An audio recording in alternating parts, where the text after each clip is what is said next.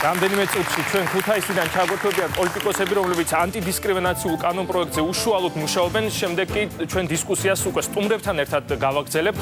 სამოქალაქო განვითარების სააგენტოს აღმასრულებელი დირექტორი ზვიად დევდარიანი იმყოფება ჩვენთან ერთად. საქართველოს რეფორმების ასოციაციის დამფუძნებელი ელენე ხოშტარია, ორგანიზაცია იდენტობის დირექტორი ირაკლი ვაჭარაძე, ბაპტისტურ ევანგელური ეკლესიის ეპისკოპოსი რუსუდან გოცირიძე და ფილოსოფოსი თათა სოფურაშვილი.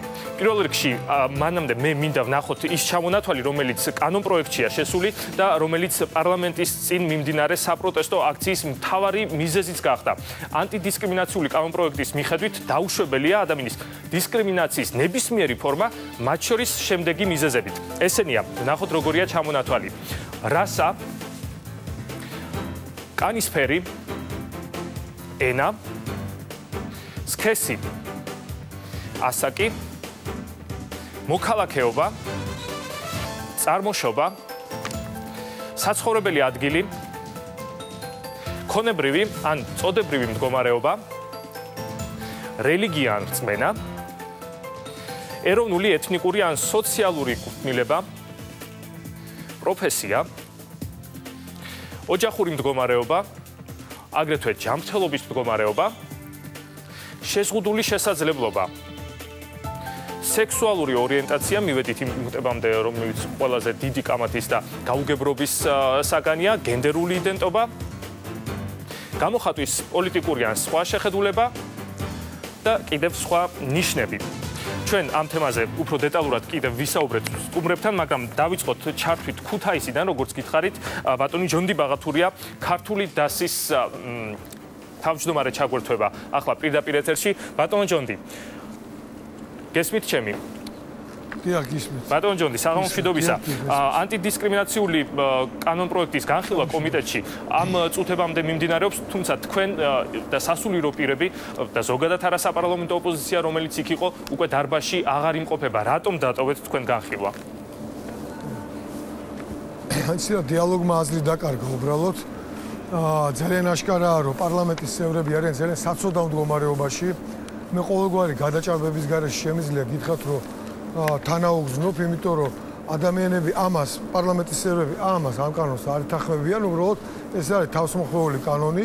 სამი დღის წინ ისინი შეკრიბა ბიზნა ივანიშვილმა და მათზე ყველაზე განახორციელეს ეწოდა ესეთი რომ როგორც ჩანს დეპუტატები რომლებიც ადრე სიტყვას იძლეოდნენ რომ ამ კანონს ხარს არ დაუჭერდნენ დღეს ესე იგი ვეღარ იყვნენ ისეთი გაბედულები როგორც უნდა ყოფილიყო. დიახ, თქვენ დღეს აღნიშნეთ პირდაპირ უთხარით დეპუტატებს ბატონო ჯონდი რომ ისინი დაშინებულები არიან. თქვენ ამას გულისხმობთ რომ ისინი ბიძინა ივანიშვილისგან არიან დაშინებულები? არა, ეს ღიათ მოხდა, მინდა გითხრათ. დიახ, დიახ, ღიათ მოხდა, იმიტომ რომ ჯერტი ივანიშვილს არანაირი უფლება არ ქონდა დეპუტატების შეეკრიბა და ესე მითითებები მიეცა.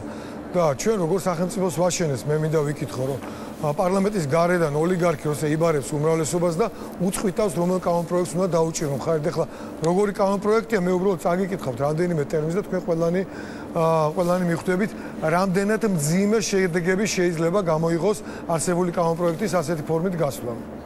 მაგალითად ბატონი ბატონ ჯონდი კი ბატონ მე მეგონა თქვენ გინდოდა წაკითხო ამ პუნქტების. მე რა თქმა უნდა სწორედ ამაზე უნდა ვისაუბროთ. მე მინდა წავიკითხო თუ იქნება საშუალება? დიახ რა თქმა უნდა რა არის მთავარი პრობლემა ამ კანონ პროექტში? მე როგორც ხვდები თქვენი და სასულიერო პირების პრეტენზიები მეტნაკლებად ერთმანეთს ემთხოვა ამიტომ თქვენ გითხავთ ვინაიდან ჩვენთან ეთერში სამწუხარო ჩვენი მცდელობის მიუხედავად სტუდიაში მართლმადიდებლური ეკლესიის არც ერთი წარმომადგენელი არ იმყოფება. რა პრეტენზიები გაქვთ თქვენ და სასულიერო პირებს ამ კანონთან, კანონ პროექტთან.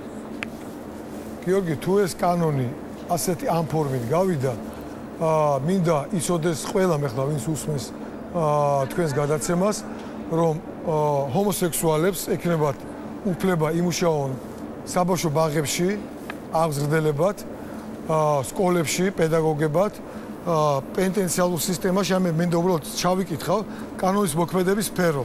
Ну ეხლა პირველ მეორე მოხს არ წავიკითხავ. და სკოლამდელი აღზრდა. განათლების განათლება განათლებას ხელმისაწვდომას სწავლის პროცესი. მამატი ბატონო საზოგადოებრივი პოლიტიკური საქმიანობა აქ. ბატონო ჯონი თქვენ თვლით რომ ეხლა როდესაც ეს კანონი არის მიღებული ამას უბრალოდ. კითხავთ და გააგრძელეთ. შემდეგ თქვენ თვლით რომ ეხლა არც ერთი ჰომოსექსუალი არ მუშაობს არც სკოლაში არც საბავშვო ბაღში არა ასე ასე აქვს შესაძლოა ვინმე მუშაობს მაგრამ ამ კანონის შემდგომ ისინი იქნებიან ლეგალურ მდგომარეობაში და ნებისმიერ მათგან შეუძლია უბრალოდ ეს ბავშვებთან გამოაცხადოს და მე ამ საკითხებზე ესაუბრებოდეს და თუ კი სკოლის დირექტორი ან მშობელი ამას გააპროტესტებს, ასე შემთხვევაში მშობელი და სკოლის დირექტორი დაიჯებიან სხვადასხვანაირად. მაგალითად, სისხლის სამართლის კოდექსში შედის ცვლილება 152 მუხში, აი მე აქ მაქვს, ამ კანონიდან გამომდინარე, რომის მიხედვითაც ფიზიკური პირი, რომელიც ასეთ პროტესტს გამოთქვამს ჰომოსექსუალის მასშტაბლებლის სკოლაში ან ბაღში მუშაობის შესახებ, ის დაიჯება სისხლის სამართლის პასუხისგებლობით 1-დან 3 წლამდე, ხოლო იურიდიული პირი დაიჯება ლიკვიდაციით. ან თუ კი ეს კერძო ბაღია, საჯარო ბაღია, უბრალოდ ეს ბაღი საერთოდ დაიხურება. ხლეს, ნუ რა გაპატიეთ, მაგრამ ბატონო ჯონდია, ამ შემთხვევაში რეპრესიული თავისთავად ანტიდისკრიმინაციული კანონი მე მგონი უფრო სხვა მიმართულებით მიდის, იმიტომ რომ ხო შეიძლება რაშუაში აქ საერთოდ ჰომოსექსუალიზმი შეიძლება იყოს ვიღაც ჰეტეროსექსუალი მასწავლებელი, რომელიც საშინელებებზე ესაუბრებოდეს ბავშვებს და მაგალითად იგივე პედოფილიაზე, რომელზეც თქვენ საუბრობთ, აქ ხომ არ არის უშუალოდ ჰომოსექსუალისტთან არანაირი კავშირი ამას არ აქვს ასეთი ტიპის დანაშაულს და დარღვევებს. გასაგებია გიორგი კიდე ერთხელ უნდა აგიხსნა ჩემი პოზიცია ასეთი არის რა თქმა უნდა ეკლესიის პოზიცია მე მოვისმინდა სხვა ვეთახმები არც ერთი ნიშნით ადამიანი არ უნდა დაიჭეროს იმის გამო რომ ადამიანი არის ჰომოსექსუალი ჩვენ თუ ის ტრაქტორისტია და დაზგასთან დგას სამსახურიდან არავინ არ უნდა გააგდოს. არც ავტობუსიდან არ უნდა ჩააგდოს. ჩვენ ამ დაჩაგვის მომხრე არა ვართ მაგრამ მოსულა დამასიფალის გაცული თუ არ დამასრულებინეთ თუ არ დამასრულებინეთ დაზგს ვერ გაიგებთ არსებობს დაცული სფეროები, სადაც არ შეიძლება მათი მუშაობა. ეს არის აა საბავშვო ბაღები, სკოლები, ეს არის პენტენციალური სისტემა, სადაც პატიმრები არიან სრულიად დაუცველები. აა ეს არის სამართალდამცავი პოლიცია და თავდაცვის სისტემა არმია. აი ამ სფეროების გარდა, ახლა დანარჩენი ადამიანები არიან და ბევრ ადგილას შეუძლია მუშაობდეს. ეს სფეროები უნდა იყოს დაცული სრულიად აი ამ ტიპის პროპაგანდისაგან. ეხლა მე წავიკითხავ მაგალითად მეორე მუხს აა რას ნიშნავს დისკრიმინაცია ამ კანონის განმარტებით და მე ვფიქრობ რომ ალბათ თქვენს თუ კი სურვილი გაქვთ ძალიან მარტივად მიხვდებით რომ დაუშვებელია უბრალოდ კანონის ამსახლი მიღება. პირდაპირ დისკრიმინაცია არის ისეთი მოპყრობა ან ისეთი პირობების შექმნა, რომელიც საქართველოს კანონმდებლობით გათვალისწინებული უფლებებით სარგებლობისას ამ კანონის პირველი მუხლით გათვალისწინებული რომელიმე ნიშნის გამო პირს არახელსაყრელ მდგომარეობაში აყენებს.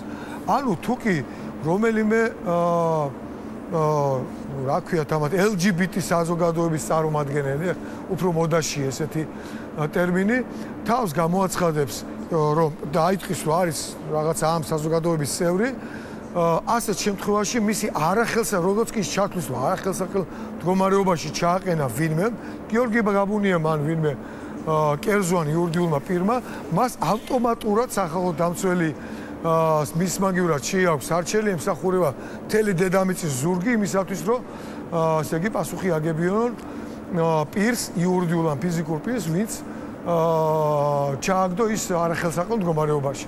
მათ შორის მინდა გითხრათ ეს არ არის უტრირება, არახელსაყრელ მდგომარეობაში შეიძლება ჩათვალოს პირმა ჩააყენეს იმის გამო რომ მაგალითად საზოგადოებრივ ტრანსპორტში ადგილი არ დაუთმეს. 1000 გვარი ულტრირება და ინტერპრეტაცია შეიძლება მოყვეს. გასაგებია. ბატონ ჯონი საბოლოოდ უფრო კონკრეტულად რო ვთქვა თქვენ რა სიტყვით მე ვაჩვენე გავაცანი მაყურებელს ის ჩამონათვალი თუ რა ნიშნით ამ კანონის მიხედვით კანონ პროექტის მიხედვით რა ნიშნით არ უნდა მოხდეს ადამიანის დისკრიმინაცია და თქვენ საუბრობდით კიდე ერთ ჩამონათვალზე იმ სფეროების ჩამონათვალზე რომელზეც უნდა მოქმედებდეს ეს კანონი. თქვენ საბოლოოდ რა სიტყვით აი ტერმინების ამოღებას შეცვლასაც და სფეროების შეცვლასაც თუ როგორი ფორმით ხედავთ ამ კანონს, რა ფორმით იქნებოდა ის თქვენთვის მისაღები? რა გასაგებია შეკითხვა. აა მრავალფეროვანია მიდგომა. სფეროები, რა თქმა უნდა, არსებობს სფეროები, ისეთი როგორც არის საბავშვო ბაღები, სკოლები, პენტენციალური სისტემა, აა პოლიცია და თავდაცვა, სადაც არ შეიძლება უბრალოდ ამ კატეგორიის გადახრის ადამიანების მუშაობა, ეს არის ყოველ დაუშვებელი. გარდა ამისა, არ უნდა ეძლეოდეს საშუალება არაბუნებრივი სექსუალური ორიენტაციის ადამიანებს თავისი გაუკუმართებული ცხოვრების პროპაგანდის. დანარჩენი დანარჩენი არავინ არ ითხოვს ვინმე ქვაჩა არ თხართ რაღაცა შეავიწრო სამსახურიდან გააგდოს ასეთ მოთხოვნები არ დამდგარა მე პირადად არავისგან არ მომისმენია. მაგრამ ბატონო ჯონდი ეს კანონი სწორედ ხომ იმას მეტყოლებს რომ შეიძლება იყოს ადამიანი რომელიც საჯაროდ არ აცხადებდეს და არ საუბრობდეს თავის სექსუალურ ორიენტაციაზე. მით უმეტეს არც იქ ბავშვებს არაფერზე არ ელაპარაკებოდეს მაგრამ შეიძლება მისმა ხელმძღვანელმა ეს გაიგოს და ამ ნიშნით მაგალითად ის გაათავისუფლოს სამსახურიდან. აი ამ შემთხვევაში როგორ უნდა იქნას მისი უფლებები დაცული გიორგი კიდე ერთხელ გიხსნით. აა ადამიანი თუ არის, მოდი ჯერ დავიწყოთ საუბარი აქედან. აა კანონის პროექტის ავტორები და დღეს ნაციონალური მოძრაობა, ქართული ოცნება და LGBT საზოგადოება ერთობლივად თავაზობენ აზრს, რომ ამ კანონის მიხედვით მოხდეს ჰომოსექსუალიზმის როგორც ნორმად აღიარება. ანუ ისინი ამბობენ პირდაპირ ღია და აშკარად, რომ ეს არ არის ანომალია, ეს არ არის გადახრა, ეს არის ნორმა და შესაბამისად, რადგან ეს არის ნორმა და განსხვავება ჩვენ შორის არის ხოლმე მხოლოდ რაოდენობა, ანუ რისხობრივი რაოდენობა, ამიტომ მათ უნდა ეძლეოდეს მუშაობის უფლება სკოლებში, საბავშვო ბაღებში, პენტენციალურ სისტემაში და ასე შემდეგ, რაც კატეგორიულად დაუშვებელია. ეხლა მე მინდა გავიხსენოთ ციხის კადრები, გახსოვთ თქვენ რა? რა ხდებოდა პენტენციალურ სისტემაში, თუმცა მასობრივად მიდიოდა პატიმართა წამება და მათ შორის გაუპატიურება. მე ეხლა მინდა გითხრა და გკითხოთ აი თქვენ დამსწრე საზოგადოებას გკითხოთ და ყველა მის ეხლა ისმეს ამ გადაცემას. აა თქვენ ხო ხართ იმაში დარწმუნებული რომ მამაკაცი, როცა მამაკაცზე გაბრაზდება მაქსიმუმ რა შეიძლება ცუდი გააკეთოს, რა ძალიან ცუდია თავისთავად. ეს არის შეიძლება ხმალი მოიქნიოს, ტყვია ესროლოს და მოკლას, ხო? მაგრამ თქვენ ხო არ გაგიგიათ ესეთი მაგალითი, რომ კაცი კაცს ესე იგი გადაეკიდოს და სადღაც დაიჭიროს და მეორე გააუპატიუროს. ასეთი აზრი ხო კაც კაცის მიმართ არ მოსდის. შესაბამისად, პენტენციალურ სისტემაში ჩვენ ციხის კადრები და ცოცხის კადრები რაც ვნახეთ, ამას ჰომოსექსუალები აკეთებდნენ. ეს თვითონ ფაქტი უკვე ადასტურებს იმას, რომ არ შეიძლება იქ სადაც პატიმარი დაუცველია, მოწყვლადია, არ შეიძლება პატიმარი იყოს ნორმალური ჯანსაღი ფსიქიკის ადამიანი და იქ ზედამხედველები იყვნენ ჰომოსექსუალები. იმიტომ რომ ისინი უკვე გახდნენ ესეთი ჰომოსექსუალური ძალადობის ძალიან მასობრივად. ბრალდება, მე მგონი და მე სიმართლე გითხრათ, ვერ ხვდები როგორ სიმებრალდება? როგორ მიხვდით თქვენ ასეთ დასკვნებს, რომ ის რაც ნახეთ ხდებოდა ციხეებში, საბოლოო და აი ასეთი მოპყრობა პატიმრებთან იყო ჰომოსექსუალების ბრალ. გიორგი და ამას ვინ აკეთებდა? კაცი რო კაცს აუპატიურებს, იქ ხო ის არ არის ჰომოსექსუალი? ის ნორმალურია? არა, მე ამას გეკითხებით. აი ესე ჩვენ უნდა შევტარდეთ ადამიანის ნებისმიერ შემთხვევაში, მაგრამ მოდი შევაბუნებ. რა შუაშია ჰომოსექსუალიზმი? გაუპატიურება ვის უნდა იყოს არანორმალურია. უნდა და არ არის სწორი და დასჯადია, დანაშაულია სხვა რამე. გიორგი მისმენთ? დასჯადია და ვინ აკეთებდა ამას? ვინ აკეთებდა ამას? პენტენსო სისტემას ხო მასობრივი ხასიათი ქონდა. ჩვენ ხო ნახეთ ეს კადრები. შესაბამისად, რომ ჩვენ მეცოცხლებს ხალხი უწოდებს ნაციონალურ მოძრაობას, ესენი რითი არიან უკეთესები ქართული ოცნება? ჩვენ თუ იგივე გზით მივდივართ. მე თქვენ გეკითხი, მოდი დავსვამ, აი დარბაზსაც მინდა ვკითხო. ჰომოსექსუალიზმი ნორმაა თუ ანომალია? აი თქვენი პირადი აზრი შეიძლება ერთის შეკითხვის რესპონდენტი თქვენ რო იყოთ. ეს ნორმაა? მე ამ შემთხვევაში ერთია რომ ჩვენ არ უნდა დავჩაგროთ, მაგრამ მეორეა რომ მე არ უნდა მაიძულოთ რომ ის რაც ვიღაცისთვის ვის რაც ჩემთვის ანომალია, მე არ უნდა მაიძულოთ რომ კანონის ზარით ვაღიარო ის ნორმად. მე ვიმეორებ ეს არის ბატონჯონი, თუმცა მე მაინც კიდევ ერთხელ გეუბნებით რომ ჩემთვის ანომალია ძალიან რთულიც არის აი ამ პარალელის გაგება, რომელიც გაიგივების უბრალოდ პუსის ნიშნის დასმა, რომელიც თქვენ ეგრეთ წოდებულ მეცოცხეებსა და ჰომოსექსუალებს შორის დასვით. გიორგი, კიდე ერთხელ თუ ვერ ჩაწვით ჩემი გამოთქმის დას კიდე ერთხელ კითხავთ. ის ციხის კადრები ხო გაქვთ ნანახი? დიახ, ყველას. ხო გაქვთ ნანახი? დიახ. კაცი როცა კაცს აუპატიურებს, ის ვინც აუპატიურებს, ის არის ჰომოსექსუალი თუ არა? ის ნორმალურია? კარგით, მოდით ამაზე ნუ ღალერ ვიკამათებთ, გაასაგებია თქვენი პოზიცია. მე უბრალოდ მინდა დავასწრო. აი, რატო გაორბიხარ შეკითხვას გისვამ? ამიტომ გეუბნებით, ახლა თქვენ რო გაიგოთ. გიორგი ბოდიშვილი, ამბობთ რომ მსგავსი, აი თქვენ შეგიძლიათ ახლა ისარგებლოთ გიორგი ბოდიში და ბოდიში რომ დამასულებინე გიორგი მაპატია უბრალოდ ძალიან მნიშვნელოვანი ინფორმაცია უნდა მოგაწოდოთ. აი თუ არის საშუალება ახლოს რომ მოიტანოთ კადრი, ეს არის ინტერპრეს ნიუსის ინფორმაცია. აა დღეს დილის 8 საათზე სამა უცხოელმა ჰომოსექსუალ აი დღეს დილით მოხდა თბილისში. აა გამოიტყუა გლდანის გამანაწილებელი, ანუ ბავშთა სახლიდან 15 წლის ბავშვი რომელიც შეერი იყო და უბრალოდ უთხესო საჭმელს გაჭმეოდა შეიტყუეს ჩუღურეთში სადღაც ნაკეროებ ბინაში.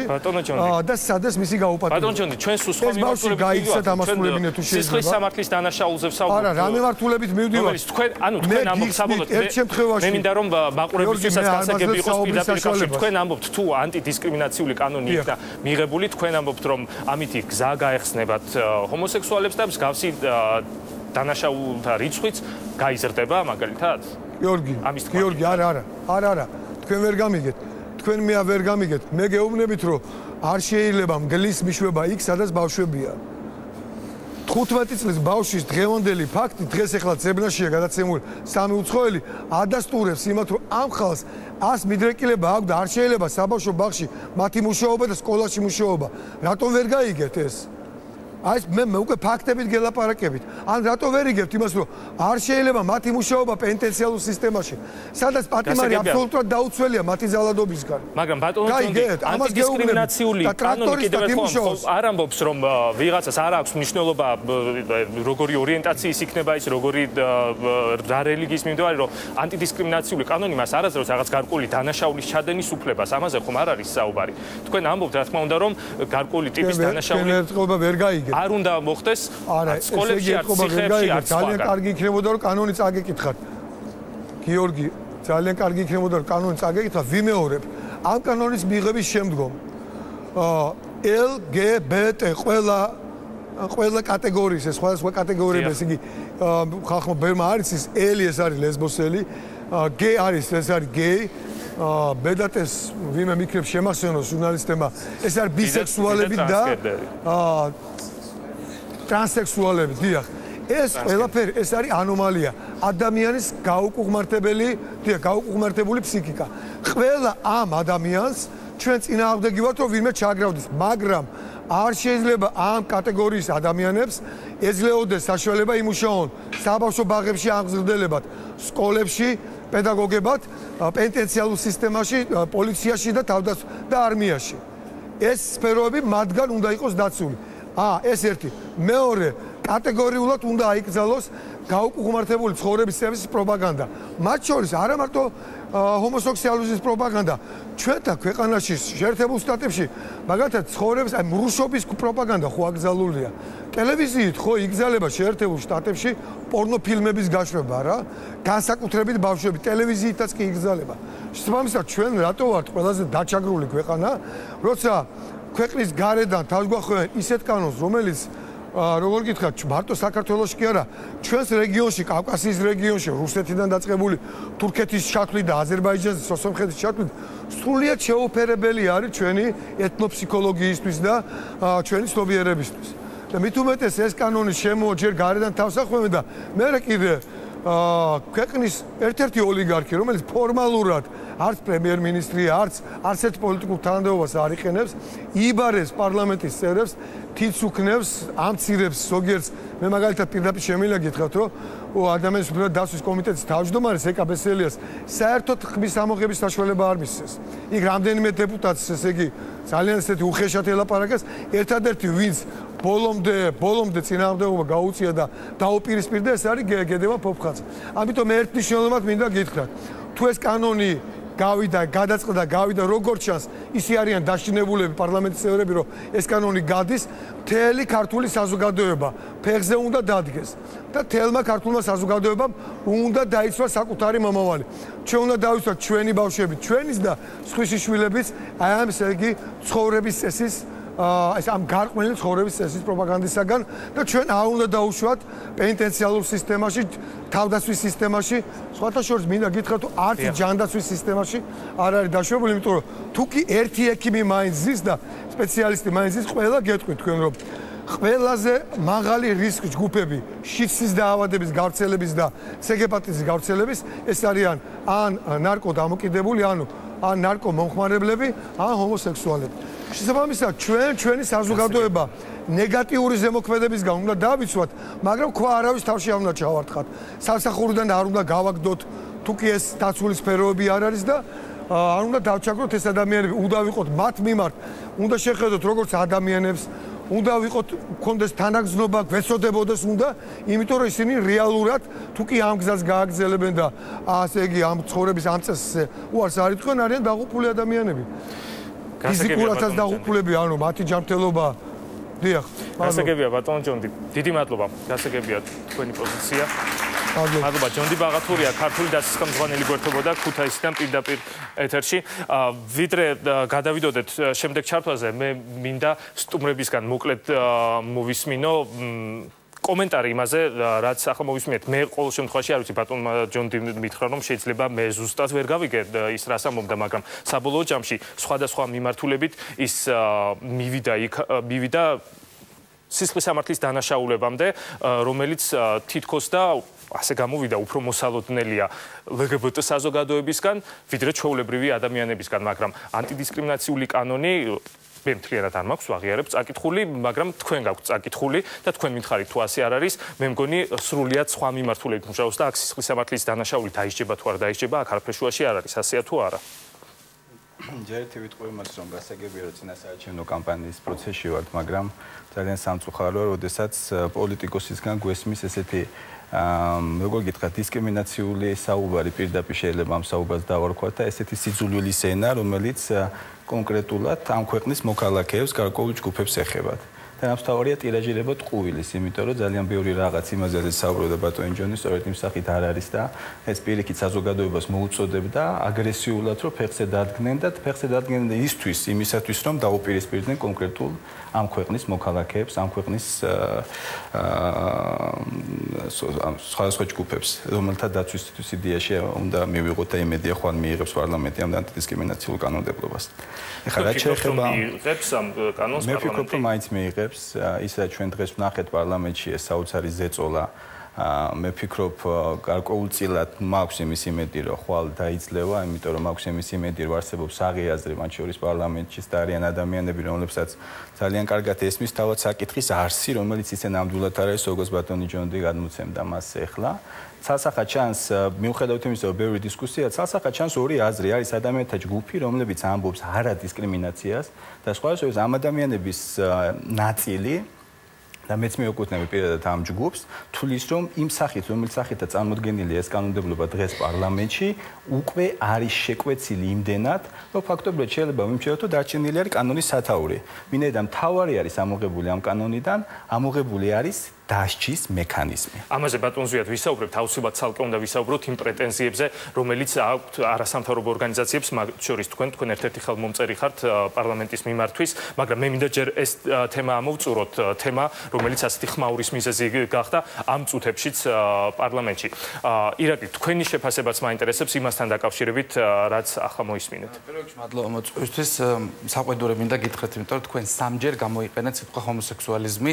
მე შეგნებოდა ეს არ მოხდებოდა, იმიტომ რომ ეს ტერმინი არ არსებობს, ეს არის არასწორი ტერმინი და რა თქმა უნდა, მე ვიცი მე აქვე განმარტა მე შეგდებულად გამოვიყენე ეს ტერმინი, ვინაიდან აი ეს ადამიანები ეს ჯგუფი, რომელიც ეცინა მაინც არასწორია, იმიტომ რომ ეს ტერმინი არ არსებობს, უნდა წარმოვიდგოთ, რომ ეს ბრჭყალებში იყო ჩემთან პოლიტიკის ჩასმული.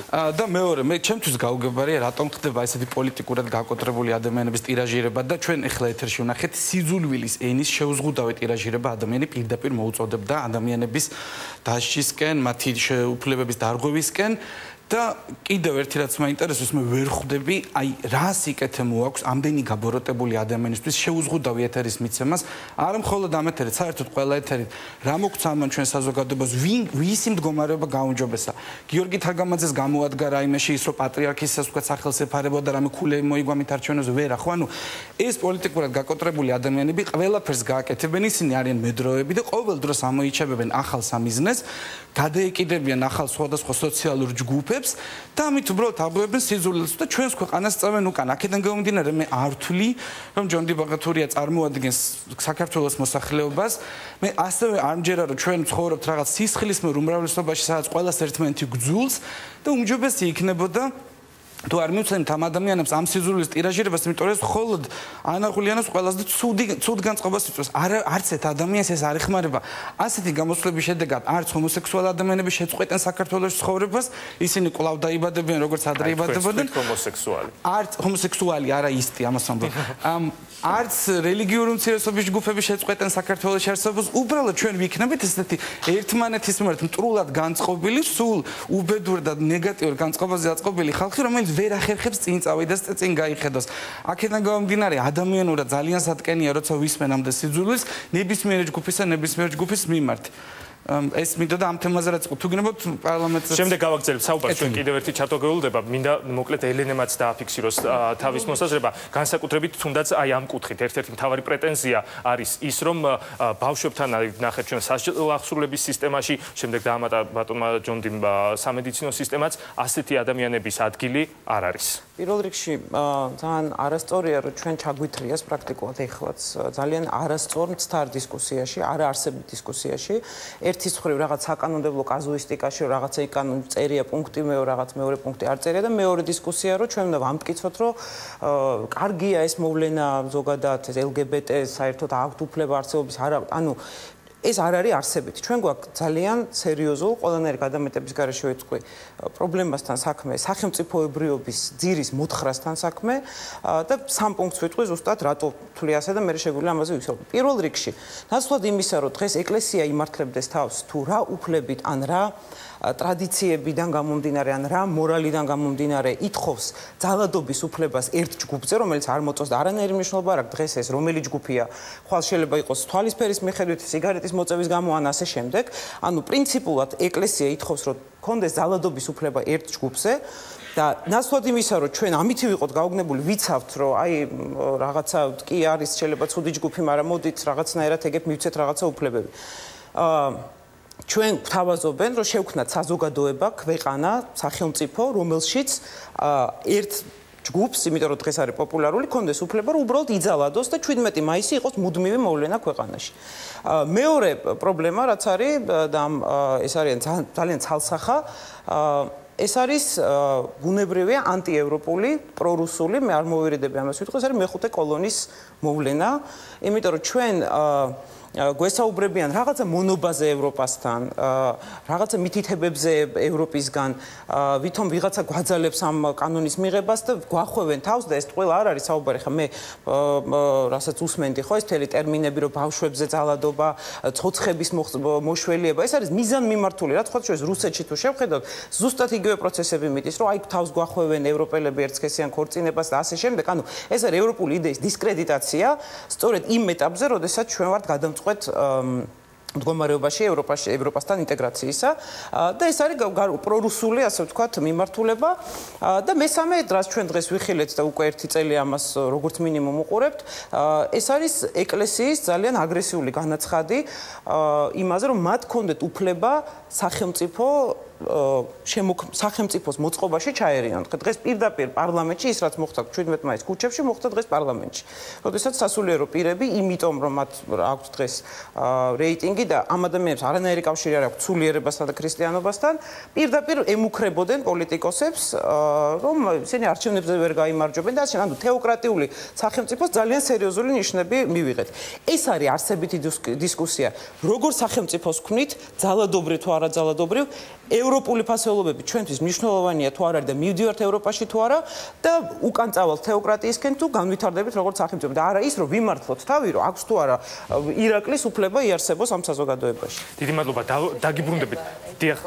ვაკეთებ, იმიტომ რომ ეს არსებითია, მთელი ის ფაქტობრივად რაღაცა ცილის წამეობრივი კასკადი ამ კანონ პროექტის მიმართ, რომელიც ისმოდა ხა ბატონი ჯონდი ბაღათურიას სიტყვაში, არის ფაქტობრივად არასწორად დამყარებული, მათ შორის იმას, როდესაც ის საუბრობს დავშოთ სკოლაში, საბავშვო ბაღებში, პენიტენციალურ სისტემაში, ასე შემდეგ, ესე ვთქვათ, სექსუალური უმცირესობების დასაქმებაზე, იმიტომ რომ ამ კანონში არა მესამე მუხლის მეორე პუნქტში არის შემდეგნაირი ფორმულირება, რომელსაც ის შეგნებულად არ კითხულობს ხოლმე, როდესაც ამ თემაზე საუბრობს, რომ ამ კანონის მოქმედება ამ მუხლის პირველი პუნქტით, ან ზუსტად ჩამოთვლილია ეს პროფესიები, გათვალისწინებულ სფეროებზე ვრცელდება მხოლოდ იმ შემთხვევაში, თუ აღნიშნული სფეროები არ რეგულირდება სხვა სამართლებრივი აქტებით. და შესაბამისად, პენიტენციალური სისტემა, რომელზეც მან ამდენი ისაუბრა, არის სწორედ ის სფერო, რომელიც სხვა სამართლებრივი ნორმატიული აქტებით რეგულირდება თუ ვინ უნდა იყოს იქ ესე დასაქმებული. და ასევე მეორე ციტატა რომელიც მან ასევე მოიტანა ამ კანონ პროექტიდან რომელიც ეხება მეორე მუხლს ფაქტობრივად კანონი უნდა წავიკითხოთ ჩვენ ასე კი თავიდან ბოლომდე და მით უმეტეს წინადადებას თავიდან ბოლომდე უნდა წავიკითხოთ რომელიც იქ წერია იმიტომ რომ თელი აი ეს პირდაპირ დისკრიმინაციის განმარტება რომელზეც ის აპელირებდა რომ დაუშვათ ამ კანონის პირველი მუხლით გათვალისწინებული რომელიმე ნიშნის გამო პირს არახელსაყრელ მდგომარეობაში აყენებს ანალოგიურ პირობებში მყოფ პირებთან შედარებით გარდა ისეთი შემთხვევისა, როდესაც ამგვარი მოპყრობა ემსახურება ლეგიტიმურ მიზანს და აუცილებელია დემოკრატიულ საზოგადოებაში, ხოლო გამოყენებული საშუალებები თანაზომიერია ასეთი მიზნის მისაღწევად. შესაბამისად, თუ კი მავანი იქნება ეს სასკოლო დაწესებულება, სკოლამდელი ახსნის დაწესებულება თუ პენიტენციალური სისტემა, ესე ვთქვათ, ძალადობს მავანზე, მაშინ უკვე ამ შემთხვევაში ხო ეს სხვა საკითხი. და როდესაც ამ დანაშაულისთვის ის დაისჯება, ეს არ ნიშნავს რომ ისი დისკრიმინაცია. ამ კანონში არის გათვალისწინებული. დიდი მადლობა, დაგიბრუნდებით და დაუბრუნდებით სტუმრებს. დავით ზურაბიშვილი გველოდება ჩვენ ახლა ის პირდაპირ ეთერში ჩაგვერთვება. ბატონო დავით, მოგესალმებით. მოგესალმებით, გამარჯობათ. ბატონო დავით, პატრიარქი პარლამენტისგან კანონპროექტის განხილვის გადავადებას მოითხოვს და ჩვენ ახლა სწორედ ამ მიმართულებით საუბრობდით იმ პრობლემაზე, რომელიც შეიქმნა პარლამენტში ამ კანონპროექტის განხილვისას, ვინაიდან სასულიერო პირები ესწრებოდნენ კომიტეტის ხდომას, რომლებმაც მოგვიანებით არასაპარლამენტო ოპოზიციასთან ერთად დატოვეს საერთოდ დარბაზი. ილია მეორე თავის განცხადებაში აცხადებს, რომ ჩვენი მოქალაქეების პიროვნული უფლებები ისედაც თანაბრად დაცულია საქართველოში დღეს არსებული კანონმდებლობით. მორწმუნე საზოგადოება კი წარმოქმნილი ფორმით ანტიდისკრიმინაციულ კანონპროექტს თulis ამ ცოდვის პროპაგანდად და დაკანონებად გასაგებია, რომელიც ცოდვაც იგულისხმება. პატრიარქი აგრეთვე ითხოვს ეკლესიისა და საზოგადოების ფართო ჩართვას განხილვაში. თქვენ რა აზრის ხართ ამაზე? მოგახსენებთ ჯერ ერთი ჩართულობა, მეტი ფართო ჩართულობა ალბათ თული წარმოსადგენია, იმიტომ რომ ეს კანონპროექტი ჯერ კიდევ როდესაც პირველ მოსმენას გადიოდა რამდენადაც ჩემთვის ცნობილია, მაშინაც იყო კონსულტაციები საპატრიარქოსთან მეორე მოსმენის წინაც იყო წინა საკომიტეტო მოსმენასაც ესწრებოდნენ, ამ საკომიტეტო მოსმენასაც ესწრებოდნენ. ნუ ძირითადად გამოიწვია პრეტენზია, რომ ხდება რაღაც ცოდვის დაკანონება. მოდი რა განმარტოთ რა. დიახ, ეს ავიკითხე მე, სწორედ პირდაპირ არის, რომ ეს არის ცოდვის პროპაგანდა და დაკანონება პატრიარქის განცხადებაში სასიამოვნო. ასე შეიძლება დაკანონება, დაკანონება ნიშნავს, რომ რაღაცა არ არის კანონის კანონის ფარგლებში მოქცეული, რაღაცა არის უკანონო და იმას ვაქცევთ კანონიერად. რა არის უკანონო? მოდი ასე ვთქვათ, რა მიიჯება, თქვათ, იგივე ისო ადამიანის სექსუალური ორიენტაცია უკანონოა დღეს, უკანონობაა, უკანონოდ არის, არ არის ასე, ხომ? ძალიან დიდი ხანია საქართველოს ჯერ კიდევ 90-იან წლებში კრიმინალიზაცია მოაცილა სექსუალურ ორიენტაციას, ანუ სექსუალური ორიენტაცია ჩვენთან დანაშაულად არ ითვლება. ეხლა ბუნებრივია საეკლესიო კანონმდებლობა ამას ცოდვად მიიჩნევს, საეკლესიო კანონმდებლობა არის გამიჯნული საერო კანონმდებლობისგან, საქართველოს არის სეკულარული სახელმწიფო და ბუნებრივია ეკლესიას შეუძლია და გამოთქვა გამოთქვამს და კიდევ მომავალშიც გამოთქვამს ალბათ არაერთ მოსაზრებას კონკრეტულ საკითხებზე, მაგრამ პრეროგატივა კანონის მიღებისა არის საქართველოს პარლამენტის, ჩვენთვის მთავრობის პოზიცია ცნობილია, პარლამენტის უმრავლესობის პოზიციაც ეს არის, ოპოზიციის პოზიციაც ეს არის საპარლამენტოსი და ერთიანი პოზიციაა ის, რომ ეს კანონი უნდა იყოს სწრაფად მიღებული, იმიტომ რომ იგივე ასოცირების ხელშეკრულებისთვის და არა მარტო ასოცირების ხელშეკრულებისთვის, აი მას მინდა ხაზი გაუსვა მე. ეს ჩვენ იმიტომ კი არ გვჭირდება, რომ გინდა თუ არა ევროპელებს მოვაწონოთ ვთქვათ თავი. დიახ, იმიტომ რომ ერთ-ერთი მთავარი არგუმენტი არ არის ეს მთავარი არგუმენტი. დიახ, ერთ-ერთი მთავარი მე ვამბობ იმ ადამიანების მხრიდან, რომლებიც ამბობენ, რომ ეს კანონი სინამდვილეში სულაც არ არის საჭირო, ისინი ამბობენ, რომ სინამდვილეში ხელისუფლება ცდილობს თითქოს ქულები დაიწეროს ევროპასთან და სწორედ ამიტომ აჩქარებს და ცდილობს ამ კანონის მიღებას.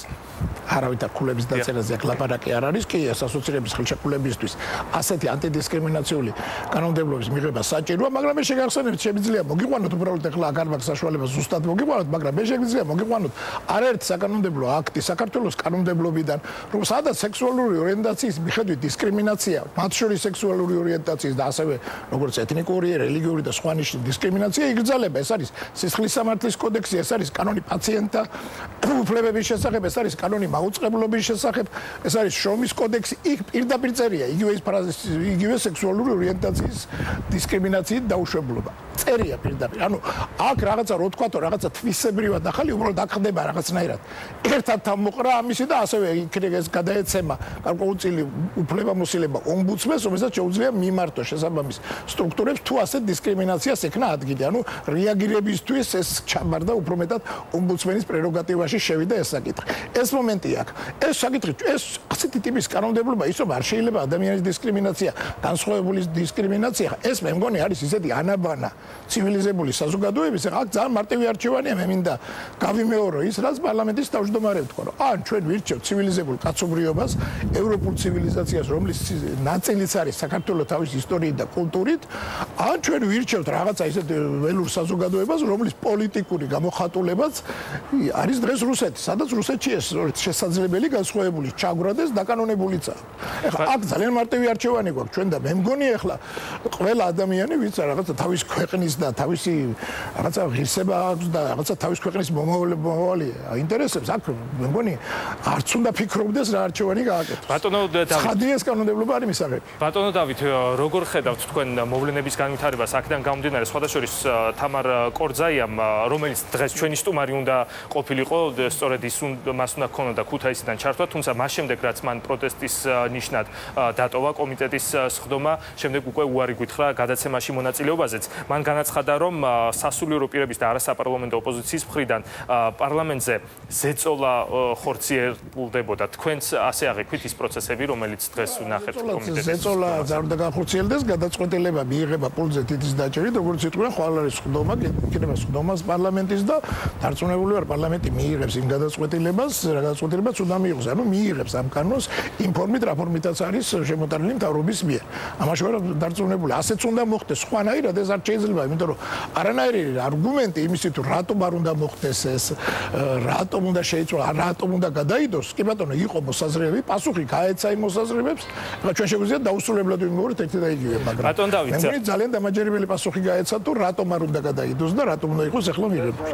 ბატონ დავით, მე მაინტერესებს კიდე ერთ ვარიანტზე ვისაუბროთ, რომელიც სხვადასხვა მანანა კობახიძემ წამოაყენა, მას ჰქონდა ასეთი წინადადება, რომ ვთქვათ, ვინაიდან თავისთავად კანონის დასახელებაც კი ასეთია, დისკრიმინაციის ყველა ფორმის აღმოფხვრის შესახებ, მან თქვა, რომ ხომ არ არის გამოსავალი, რომ მართლაც ეს ჩამონათვალი ამოვიღოთ, ამ ჩამონათვალთან ერთად მაშინ ამოვარდებოდა ის ფრაზებიც, რომელიც ასე აწუხებს საზოგადოების გარკვეულ ნაწილს, მაგრამ პრინციპში კანონი იგივე დარჩებოდა, იმიტომ რომ კიდევ ერთხელ ვამბობ, ყველა სახის დისკრიმინაცია გამოირიცხებოდა. გასაგებია ამის თაობაზე.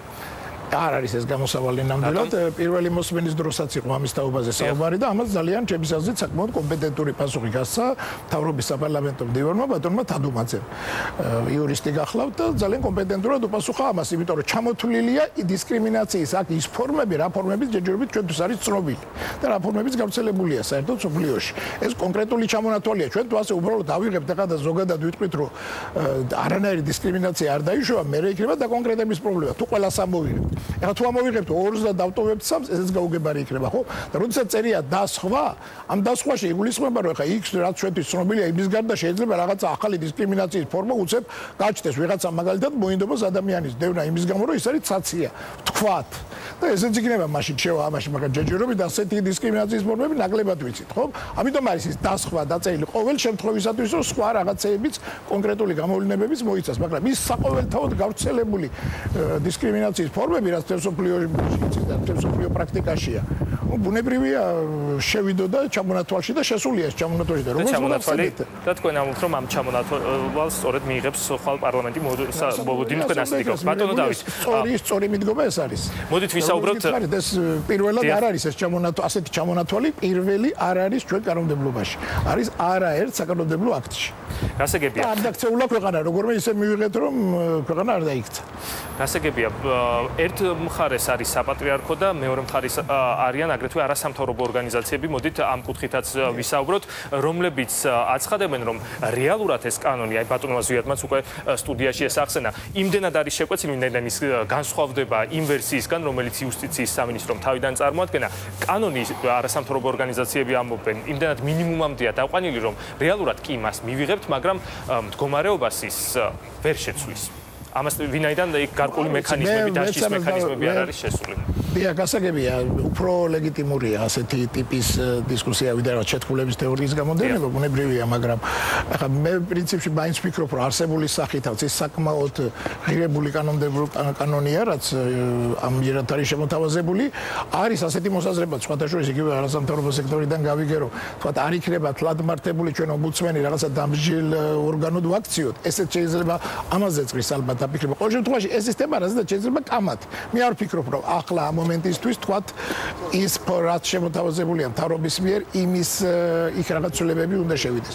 შემდგომში შევხედავთ სიტუაციას თუ ეს რეალურად პრაქტიკამ არ დაადასტურა ამ კანონმდებლობითაც აქვს ომბუდსმენს უფლება იმის რომ იმართოს სასამართლოს და თქვა თქვა ადმინისტრაციულ სასამართლოს კონკრეტულად პირველი მოსმენით მიღებულ ტექსტში ეს წერია რამდენადაც მე მახსოვს.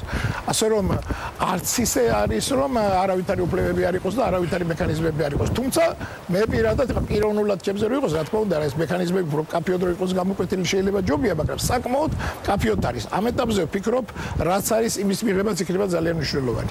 ბატონ დავით, რომ დავასრულოთ საუბარი, კიდევ ერთხელ მინდა რომ დააფიქსიროთ თქვენი პოზიცია. ხედავთ საშიშროებას, რომ კანონის საბოლოო მიღება გადავადდეს. თუ ჩემი პოზიცია არ არის ეს პირადად მე შემიძლია გითხრათ ეს არის საერთოდ საპარლამენტო უმრავლესობის პოზიცია ეს კანონი უნდა იქნას მიღებული ახლა სწორედ და იქნება მიღებული რამდენადაც ჩემთვის ცნობილია საპარლამენტო უმრავლესობის პოზიცია თავრობის პოზიცია არის ასეთი. დიდი მადლობა. დავით ზურაბიშვილი გვერდებოდა პირდაპირ ეთერში. მე უფერუსუდან მე თქვენთან გადმოვალ შეკითხვით ჩვენ მოვისმინეთ თქვენი კომენტარი თქვენ ამბობდით ასეთ რამეს რომ ასეთი ფორმით ამ კანონის მიღება შეიძლება პირიქით დისკრიმინაციისთვის ხელის შემწყობი ფაქტორიც კი გახდეს. რას გულისხმობთ, რატომ თვლით ასე? დიდი მადლობა. აა ხო ძალიან ძერ ცოტა ცოტა გამოვეხმაურები იმ დისკუსიას რაც რაც აქ მიმდინარეობდა რაღაც უცნაური ამბავია. აა იმის იმედი მქონდა რომ ზუსტად ასე დეტალებზე იქნებოდა მსჯელობა თუნდაც დღეს პარლამენტში აქ სტუდიაში და ჩვენ ლაპარაკობთ მაგალითად ჰომოსექსუალი ძიძა როგორ დაძდევს ბავშვს საბავშვო ბაღში ან რაღაც და ესეთი რაღაც. ცოტა გაუგებარია 17 მაისის ჭელას სამთაწყაროს ქვეყანაში რაღაც ფანტაზიების მოხმობა გვჭირდება რა რაღაცეებზე ვილაპარაკოთ. და ბატონი ჯონდის ლოგიკაც რომ გავაგრძელო ხო? ცოტა გამიჭირდება რა მაინც. ქვებს ქვების სროლის ეტაპზე ვართ. აქ ეს ეს კანონმდებლობა გვჭირდება ქვების სროლის შესაჩერებლად. და არა რაღაც ახლა რაღაც რაღაც რაღაც სცენარების წარმოსადგენად რომ რა საფრთხე შეიძლება შეუქმნას ჩვენ შვილებს ვიღაცებმა. ამ ის პრობლემა, რაზეც მე გავაკეთე კომენტარი, არის სწორედ ეხება მეხუთე მუხლს, კერძოდ კი მეორე ნაწილს მეხუთე მუხლისა, სადაც ლაპარაკია იმაზე, რომ რაზეც არ უნდა ვილაპარაკოთ, თავარია რომ ეს წინააღმდეგობაში არ მოვიდეს კონსტიტუციურ ხელშეთანხმებასთან სახელმწიფოსა და მართლმადიდებელ ეკლესიას შორის. ა სწორედ აქ ხედავ რაღაცნაირ იმ საფრთხეს, რომ თან იმ ფონზე ჩვენ საზოგადოება ძალიან დიდი ხნის მანძილზე ამ კანონ პროექტის შემუშავებაში მეტნაკლებად ჩართული იყო და ფიქრობდი რომ ალბათ ეს არის ერთ-ერთი ესეთი კარგი გამონაკლისი, სადაც ჩვენ სამინისტრო გვეძახის, ჭკუას გვეკითხება, მუხლობრივად განვიხილავთ და მე უცებ აღმოჩნდა, რომ რაღაცეები აბსოლუტურად გამოეცალა ამ კანონ პროექტს და მივიღეთ უბრალოდ აი ეს, რაც არის უკვე კანონში, იმათი ნაკრები, უბრალოდ ერთად, ერთ ერთ მასში დოკუმენტში შეჯერებული, არაფერი ბევრის მთქმელი, სამაგეროდ გაჟღერებულია ეს ეს მუხლი, სადაც ლაპარაკი რომ ყველაფერი კარგია, მაგრამ წინააღმდეგობაში არ უნდა მოვიდეს ამ კონკრეტულ შეთანხმებასთან და მე იურისტი არა ვარ, მაგრამ იმდენი კი მესმის, რომ ორ სუბიექტ შორის შეთანხმება არ უნდა ეხებოდეს მესამეს. მე მესმის, რომ შეიძლება სახელმწიფოს და მართლმადიდებელ ეკლესიას აქვს შეთანხმება, მაგრამ მათი შეთანხმება არ უნდა ვითვალისწინებდე მე. არ უნდა ითვალისწინებდეს ამ ორ სუბიექტს მიღმა მყოფი სხვა რომელიმე ჯგუფი. და ჩემს საფრთხებს სწორედ აქ ხედავდი რომ შეიძლება ამ ყველაფერ გამოცლილი კანონმდებლობა სადაც ეს ახალი ფენომენი შემოვიდა შეიძლება სწორედ ანტიდისკრიმინაციული კანონი გახდეს წყარო დისკრიმინაციისა სადაც შეიძლება ნებისმიერ მომენტში ამაფარონ ეს დოკუმენტი და მითხრან კი მართალია ამ თქვენი უფლებები უნდა იყოს დაცული, მაგრამ იცით რა, აქ ყველაფერი უნდა განიხილებოდეს აი იმ შეთანხმების შუქზე. აი ეს არის სწორედ ჩემთვის მიუღებელი. და ძალიან ცუდია, რომ ამ კანონ პროექტის მომხრეები იქნებიან თუ მოწინააღმდეგეები იქნებიან, ლაპარაკობენ იმაზე, რომ ამის მიუღებლად თუ ამას არ მივიღებთ, ჩვენ თავს ვერ მოვაწონებთ ევროპას. რა შუაში ევროპა? მე ეს ქვეყანა მჭირდება ჩემი შვილებისთვის და სულ არ მჭირდება მე ეს ევროპისთვის.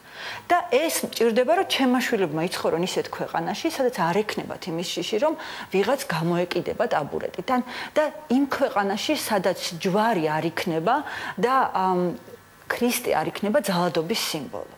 მე ვფერ უსუდან თქვენ უერთდებით იმ ადამიანებს არიან ასეთებიც რომლებიც თვლიან რომ შესაბამისად ასეთი არაქმედითი კანონის მიღება რეალურად ხდება მხოლოდ იმისთვის რომ არ შეექმნას საქართველოს პრობლემა ასოცირების ხელშეკრულების მოწერასთან დაკავშირებით და აგრეთვე ვიზების ლიბერალიზაციასთან დაკავშირებით.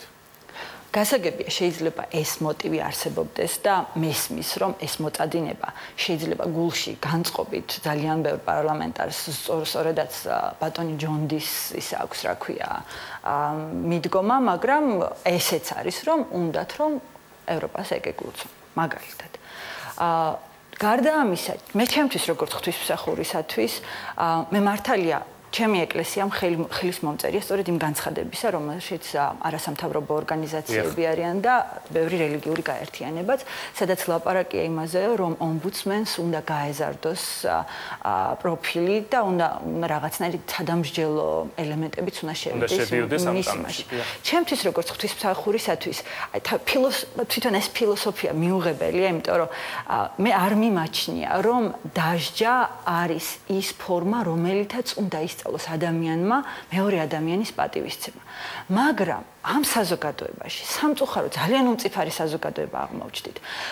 სხვა გზით სხვა გზით არ ხერხდება. თუ არ გეშინია რომ მათრახი მოგხვდება, არ არ არ ჩერდები რომ სხვას გადაარტყა მათრახი. მოდით აი ახლა ვისაუბროთ მათრახის მოხვედრის აუცილებლობაზე. ბატონ ზუიად, გადავიდეთ იმ პრეტენზიებზე, რომელიც არასამთავრობო ორგანიზაციებს აქვს ამ კანონის მიმართ. თქვენ ამბობთ, რომ რეალურად ეს კანონი ქმედითი არ იქნება და დიდ ვერაფერს ვერ შეცვლის. რატომ? ხო, ჯერეთი დავიწყოთ იმით, რომ ეს ბოლო ორი დღე იყო საუბარი მასთან დაკავშირებით, რომ პროცესი არ იყო გამჭირვალე, არ იყო ღია, არ იყო ჩართულობის შესაძლებლობა, რომ უმრავლესობას არ ქონდა იმის შესაძლებლობა, რომ ამ პროცესში მიეღო მონაწილეობა. მე ამას ნამდვილად ვერ დავეთანხმებ, იმიტომ რომ თითქმის ერთი წელი ამ ამ საკითხზე მიდის მუშაობა. მინდა გითხრათ, რომ იუსტიციის სამინისტრომ ძალიან კარგად იმუშავა იმ კუთხით, რომ არაერთი ფართო შეხვედრა ჩაატარა, სადაც ყველას ქონდა შესაძლებლობა, რომ მიიღო მონაწილეობა. და თქვენ კმაყოფილი იყავით იმ პირველი ვერსიით, რომელიც იუსტიციის სამინისტრომ პირველი ეს თქვა ეტაპი იყო საერთო მუშაობის შედეგი, სადაც მაქსიმალურად იყო ასახული ის გამოწვევები, რომელიც ამ ქვეყნის წინაშე დგას. ამ კანონმა ზუსტად ეს გამოწვევები უნდა, ასე თქვა, უნდა უპასუხოს ამ გამოწვევებს და კიდევ ერთხელ ვამბობ, რომ არ უნდა კონდეს ლამაზი სათავრი, რომელიც მხოლოდ ასოცირების ხელშეკრულებისთვის იქნება საჭირო. აა შემდეგ უკვე გაუმჭირვალედ რაც მოხდა, იყო ის, რომ ფაქტობრივად არანაირი კონსულტაცია არ ყოფილა მეორე ეტაპზე, როდესაც უკვე მთავრობამ შეიტანა ცვლილებები ამ კანონ პროექტში და შემდეგ მოხდა ამის წარდგენა პარლამენტში. აი აქ არის უკვე ზუსტად ის პრობლემები, რომელიც თქვა ჩვენ ხედავთ ამ კანონის იმპლემენტაციის ნაწილში, ვინაიდან საუბარი არის სისტემის სამართლის კოდექსზე, მაგრამ დისკრიმინაციის ყველა ფაქტი არ შეიძლება აღმოჩნდეს სისტემის სამართლის სფეროს რეგულირების სფეროში. არსებობს სამოქალაქო სფერო, არსებობს იმის აუცილებლობა, რომ ხოლმე კი არ დავსაჯოთ ადამიანი თუ თქვა ის ეს სამართლის ეს თქვა ეტაპზე მივა, არამედ ისო მოვახდინოთ პრევენციაც. და სწორედ ეს დაშის მექანიზმი, რომელიც პირველ ვერსიაში იყო ჩადებული, იძლეოდა იმის შესაძლებლობას, რომ ადამიანი იქნებოდა საჯარო სფერო, იქნებოდა თუ კერძო სფერო, იქ სადაც მოხდებოდა დისკრიმინაცია, არსებული იყო კონკრეტული მექანიზმი, რომელიც ამას უზრუნველყოფდა. დღეს ეს მექანიზმი არ არსებობს. გარდა იმისა, რომ პირველ ვერსიაში არსებობდა აბსოლუტურად ცალკე ინსტიტუტი, ინსპექტორის სახით, რომელსაც უნდა ემუშავა ამ მიმართულებით. დღეს ეს კომპეტენცია, ასე ვთქვათ, გადასულია სახალხო დამცველთან და ამაზე ამ ეტაპზე იდეაში ჩვენ არ ვსაუბრობთ. ვამბობთ, რომ შეიძლება სახალხო დამცველის, ასე ვთქვათ, ინსტიტუტის ფარგლებში ეს საქმიანობა განხორციელდეს. თუმცა მნიშვნელოვანია, რომ ამ შემთხვევაში რამდენიმე საფეხურია ჯერმან უნდა განიხილოს საკითხი, შემდეგ უნდა შუამავლის როლი შეეცადოს თუ ეს არ გამოვიდა რეკომენდაციით მიმართოს კერძო პირთა ადმინისტრაციას და შემდეგ უკვე სასამართლოს თუ არაფერი არ მინიმუმ ეს საკითხი თუ ხდება სახალხო დამცველის მმართველის კომპეტენციის სფეროში ამ ინსტიტუტს უნდა კონდეს შესაბამისი ფინანსური და ადამიანური რესურსი, რომ ამ საკითხს მეაქციოს შესაბამისი ყურადღება. სხვა მხრივ ეხლა ვეხვდებით, რომ ფორმალურად ხდება ამ საკითხის დამატებით ესე თქვათ მიწებება თუ შეიძლება ასე თქვა სახალხო დამცველზე ვინედან ამ ეხლა შეუძლია მას ამ თემებთან დაკავშირებით გარკვეული ტიპის რეკომენდაციები გასცეს. მაშინ რა იცვლება? სწორედ ჩვენ ამაზე ვსაუბრობთ, რომ ჩვენც ვფიქრობთ, რომ მას უნდა კონდეს რაღაც სადამშელო ინსტიტუტის სახე, ამიტომ არის საუბარი იმასთან დაკავშირებით და ჩვენი შემთხვევით წინადადება იყო ის, რომ იმ შემთხვევაში თუ მისი რეკომენდაცია არ იქნებოდა გათვალისწინებული, ყოფილიყო სასამართლოს მონაწილეობა ამ პროცესში, როგორც ასე ვთქვათ, ჯარიმის და დამჯარიმებელი ინსტიტუტის და არა სახალხო დამცველის ინსტრუმენტი. კიდე ერთ საკითხზე მინდა ხაზი გაუსვა, მთელი ეს დისკუსია მიდის სექსუალურ მსჯელობებთან დაკავშირებით. თქვენ გადაცემის დასაწყისში ისაუბრეთ, გააკეთეთ ცელი ჩამონაცვალი იმისი, თუ რა სფეროში აპირებს ეს კანონი, ასე ვთქვათ, წესრიგის დამყარებას დისკრიმინაციის კუთხით. ინფორმაცია ძალიან ძელია ჩამონაცვალი. მუდმივად კეთდება თუნდაც აქცენტი, ასე ვთქვათ, უმცირესობებთან დაკავშირებით, აპელირება ხდება იმაზე, რომ ამით უმრავლესობის უფლების შელახვა ხდება, ჯერ ერთი მე არ ვიცნობ ესეთ უფლებას, ესეთ კოლექტიურ უფლებას, მე ვიცნობ ინდივიდის, ადამიანის უფლებას, რომელიც დაცულია საერთაშორისო კანონმდებლობისა და დაცულია ჩვენი კონსტიტუციითაც და იმიტომ რომ ეს არ არის საკმარისი ამ წუთას ჩვენს ქვეყანაში, სწორედ ამიტოა ინიცირებული ეს საკითხი, რომ ამ კანონმდებლობითაც მოხდეს მისი დაცვა. აა რას ჩემი კითხვა არის გენდერულ თანასწორობის საკითხთან დაკავშირებით. როდესაც საუბრობთ ამ სახელმწიფოს უმრავლესობაზე, ქალებზე. ფიქრობ თუ არ არსებობს სამსპიროში პრობლემა? აი ხა მე მინდა მიმართო განსაკუთრებით რეგიონებში მცხოვრებ ქალებს, ქალებს რომლებიც სოფლებში ცხოვრობენ და უყურებენ ამ ტელევიზიას. ისინი თვლიან რომ მათი უფლებები არის შესაბამისად დაცული? რამდენმა მათგანმა მოახერხა მაგალითად საშუალო სკოლის დამთავრება? მათგან რამდენის ასე ვთქვათ ნაადრევი ქორწინება მოხდა და ფაქტიურად მათი პიროვნული ზდიშეზადებლობა ამით შეჩერდა? რამდენ ქალს აქვს კერძო საკუთრება? რას ფიქრობ შეზღუდული შესაძლებლობების მქონე პირებზე, რომლებიც შეკეტილი არიან თავის ოთახში? ის ადამიანები, რომლებიც საუბრობენ იმაზე, რომ დისკრიმინაციის კანონმდებლობა არ უნდა არსებობდეს, ის კი არა უნდა გადავადეს. ის ხალხი, რომლებიც ამოს ესეთ კანონმდებლობა არ ჭირდება და კონსტიტუცია ესეც არ რეგულირებს. მე მაინტერესებს ამ ხალხმა ჩახედოს თვალში ამ ადამიანებს, რომლებიც არ არიან შეიძლება უმცირესობები, არიან უმრავლესობა, მაგრამ არიან დისკრიმინირებულები, ფაქტობრივად არიან არასთანაბარ პირობებში სხვებთან ერთად. ასე რომ ეს არის სერიოზული პრობლემა და ის რომ ჩვენ ამ და ამ ტიპის თემებზე ხშირად არ ვსაუბრობთ, რა გამოგვაქვს ეს ფაქტო დისკუსიის საგნად, ეს არის ძალიან სერიოზული პრობლემა და მე ვეთანხმები გამოთქმულ მოსაზრებას იმასთან დაკავშირებით, რომ არანაირი ასოცირების ხელშეკრულება არ არის თემა, ეს ქვეყანა უნდა იყოს ნორმალური, მას არ უნდა ერღვეოდეს საფუძველი და რაც თავარია, ამით და ამ პროცესი ჩვენ შეიძლება წინ კი რა უკან წავიდეთ და უკან არის ერთ-ერთი სახელმწიფო რეალურად რუსეთი. რუსეთი ერთადერთი ქვეყანა რომლისთვისაც ეს ყველაფერი და ეს დისკუსია ექნებოდა გასაგები. იმიტომ რომ მისთვის ეს არის მისაღები, ეს არის სახელმწიფო რომელიც თავის სახელმწიფოში ამ სტანდარტებით არსებობს და ეს არის სახელმწიფო რომელიც ბედნიერი იქნება თუ თავის მეზობელ სახელმწიფოებშიც იგივე სტანდარტი იქნება დამკვიდრებული. მადლობა ბატონო. ერთ რაღაცას დავამატებ, როდესაც ვფიქრობ ხოლმე რა არის ამაში გამოსავალი, მივდივარ დასკვნამდე რომ ეს არის განათლება.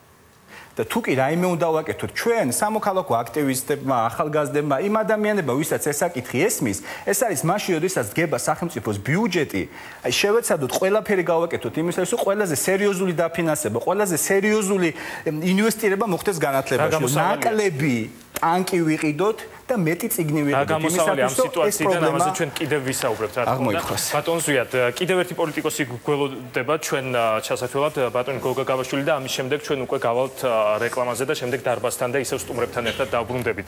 ბატონ გოგა მოგესალმებით. ბატონ გოგა თქვენ ისმენდით დისკუსიას რომელიც ახლა ჩვენ სტუდიაში მიმდინარეობს. პირველ რიგში მე მაინტერესებს თქვენ როგორი დამოკიდებულება გაქვთ იმ პროცესებისადმი რომელიც განვითარდა და როგორ ფიქრობთ? ხვალ მიიღებს თუ შეძლებს თუ არა პარლამენტი მეორე მოსმენით ამ კანონ პროექტის დამტკიცებას? აა ჩვენ მოგეხსენებათ ძალიან კაფეო ღირებულებებზე დაფუძნებული ერთობა ვართ, შესაბამისად დამოკიდებულება არ შეცვლია. პირველი მოსმენის მერე, პირველ მოსმენაზევე ჩვენ თქვით რომ ჩვენ ხარს უჭერთ ანტიდისკრიმინაციულ კანონმდებლობას და ხმა მივეცით ამ კანონს მიუხედავად იმისა რომ თვლიდით რომ თავდაპირველი ვარიანტი საქართველოს თავრობის მიერ წარდგენილი და იუსტიციის სამინისტროში შემუშავებული, სადაც არსებობდა მკაფიო მექანიზმები ამ კანონმდებლობის იმპლემენტაციისა, უფრო მკაფიო იყო უკეთესი ვარიანტი და ამ შემთხვევაში ჩვენ და ჯარიმების მექანიზმი. ამ შემთხვევაში ჩვენ ვიზიარებთ არასამთავრობო ორგანიზაციების უმრავლესობის პოზიციას ამასთან დაკავშირებით, მაგრამ თავისთავად ღირებულებითი მხარით და პრაქტიკული მხარითაც ეს კანონმდებლობა იმ სახითაც, როგორც ჩვენ მივიღეთ პირველ მოსმენაზე ჩვენი აზრით იმსახურებს ხარდაჭერას და შესაბამისად ვაპირებთ რომ ამ კანონს დაუჭიროთ მხარი ისევ და რა თქმა უნდა მესამე მოსმენაზე ჩვენ ვფიქრობთ რომ ასეთი კანონმდებლობა საქართველოში უნდა არსებობდეს. ჩვენ ვფიქრობთ რომ ეს არ არის დამოკიდებული იმაზე რომ ვიღაცა ითხოვს ჩვენგან ვიყოთ ცივილიზებულები იმიტომ რომ ჩვენ უნდა ვიყოთ ცივილიზებულები თავისთავად, ჩვენ უნდა ვიცავდეთ უმცირესობების უფლებებს თავისთავად, დისკრიმინაცია მიუღებელია თავისთავად და არა იმიტომ რომ ამას ჩვენგან ვიღაცა ითხოვს, იმიტომ რომ ეს არის ელემენტარული ნაწილი ჩვენი ცხოვრებისა, რომ ჩვენ შეგვეძლოს ნორმალური, მშვიდობიანი თანაცხოვრება ყველა იმ ჯგუფებს, რომლებიც ვართ ქვეყანაში, რომლებიც განვეკუთვნებით უმრავლესობას, უმცირესობას სხვადასხვა თვალსაზრისით. და ჩვენ უნდა შეგვეძლოს დისკრიმინაციის, ჩაგვრის, სეგრეგაციის გარეშე ცხოვრება. მე მესმის რომ ეს წვავე საკითხია და საერთოდ დისკრიმინაციის ისტორიასაც და დისკრიმინაციის აღმოფხვის ისტორიასაც 1 და 10 წელი და 20 წელი არ არის საუკუნეებია ადამიანი ნელ-ნელა მიდის იქითკენ რომ რაღაცა სახეობებს დისკრიმინაციისას უარყოფს. რასის მიხედვით დისკრიმინაცია იქნა უარყოფილი მე-20 საუკუნის შუაში ისე ცივილიზებულ ქვეყანაში, როგორც ამერიკის შეერთებული შტატებია და მაგალითად ალაბამას შტატში არჩეული გუბერნატორი იდგა უნივერსიტეტის შესასვლელში და ამბობდა, რომ არ დაუშვებს ფერატკანიანი სტუდენტების შესვლას ცოდნის ტაძარში. ამ დროს ამერიკის პრეზიდენტმა კენედიმ გამოიყენა ეროვნული გვარდია და ამით პრაქტიკულად ძალით დაასრულა რასობრივი სეგრეგაცია ემიგრაციის ისტორია ამერიკაში, რა თქმა უნდა, ამას კიდევ ბევრი ბრძოლა დაჭირდა და ასე შემდეგ. 90-იან წლებამდე შვეიცარიის კანტონი არსებობდა ერთ-ერთი, რომელშიაც ქალებს არ ჰქონდათ საარჩევნო უფლება. არსებობს დღესაც ქვეყნები, სადაც დაუშვებელია განსხვავებული რელიგიური შეხედულებების ქონა, ვიდრე ეს ტიტულარულ ნაციას და ვიდრე ეს უმრავლესობას აქვს. ასე რომ ბატონ გოკა, თქვენ აი ძალის გამოყენებაზე საუბრობდით და ამიტომ მე გამახსენდა აგრეთვე ის გაფრთხილება, რომელიც აი ამ შედარებით ვთქვით, კონსერვატიული ჯგუფების მხრიდან გაისმა, ისინი ამბობენ, რომ თუ ამ კანონის დამტკიცება მოხდება საქართველოსში, ამ ნიადაგზე დაიწყება დაპირისპირებები. თქვენ ხედავთ ასეთ საფრთხეს? იმიტომ რომ ჩვენ ვნახეთ, რომ სასულიერო პირებმა არასაპარლამენტო ოპოზიციამ დღეს დატოვეს კომიტეტის სხდომა, ფაქტობრივად მათ შორის მოლაპარაკება ვერ შედგა და ხვალ თქვენ შეთანხმებით იმას, რომ პარლამენტი მეორე მოსმენით დაამტკიცებს უკვე ამ კანონ პროექტს. აა როგორ იქნება მათი რეაქცია თქვენ როგორ ფიქრობთ? მე ვარ მაგალითად ვერ ხედავ ვერანაირი კონფლიქტის საფუძველს.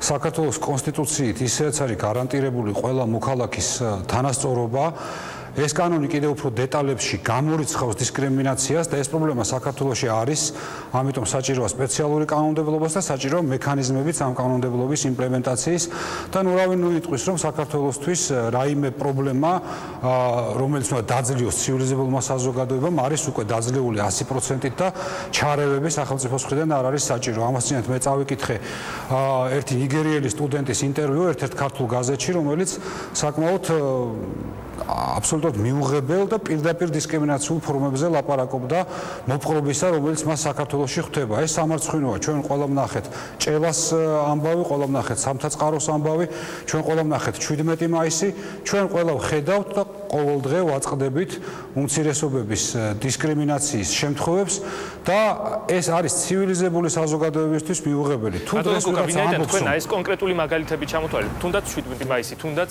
ჭელა. წარმოვიგოთ რომ ეს კანონი მიღებულია. რა შეიცვლება, რომ მოხდეს ზუსტად იგივე რაც მოხდა გასული წლის 17 მაისს? აი ამ კანონის ამოქმედების შემდეგ რა შეიცვლება იმ ადამიანებისთვის, რომლებმაც შარშან ვერ შეძლეს თუნდაც იგივე ფლეშმობის ჩატარება? აა იცით რა რა თქმა უნდა სერიოზული დაპირისპირება არის სოფხედველობებს შორის ჩვენს ქვეყანაში და ამის უარყოფა არის.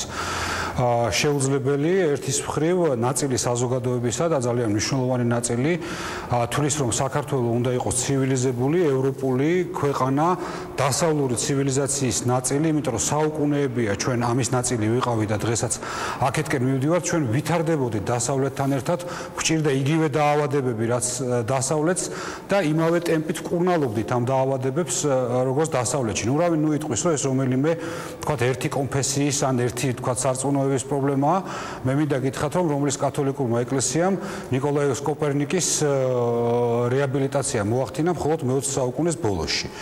აა მანამდე ის ანათემაზე იყო გადაცემული.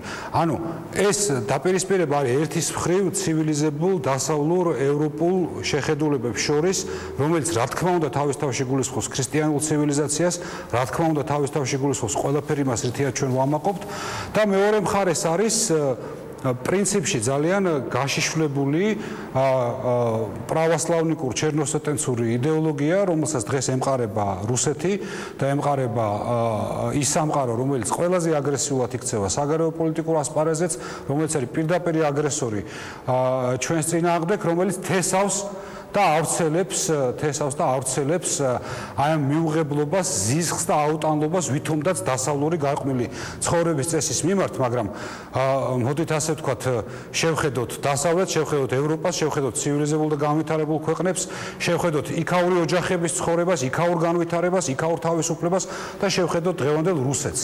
შევხედოთ გარყვნილებას დღევანდელ რუსეთში, შევხედოთ ფარისევლობას დღევანდელ რუსეთში.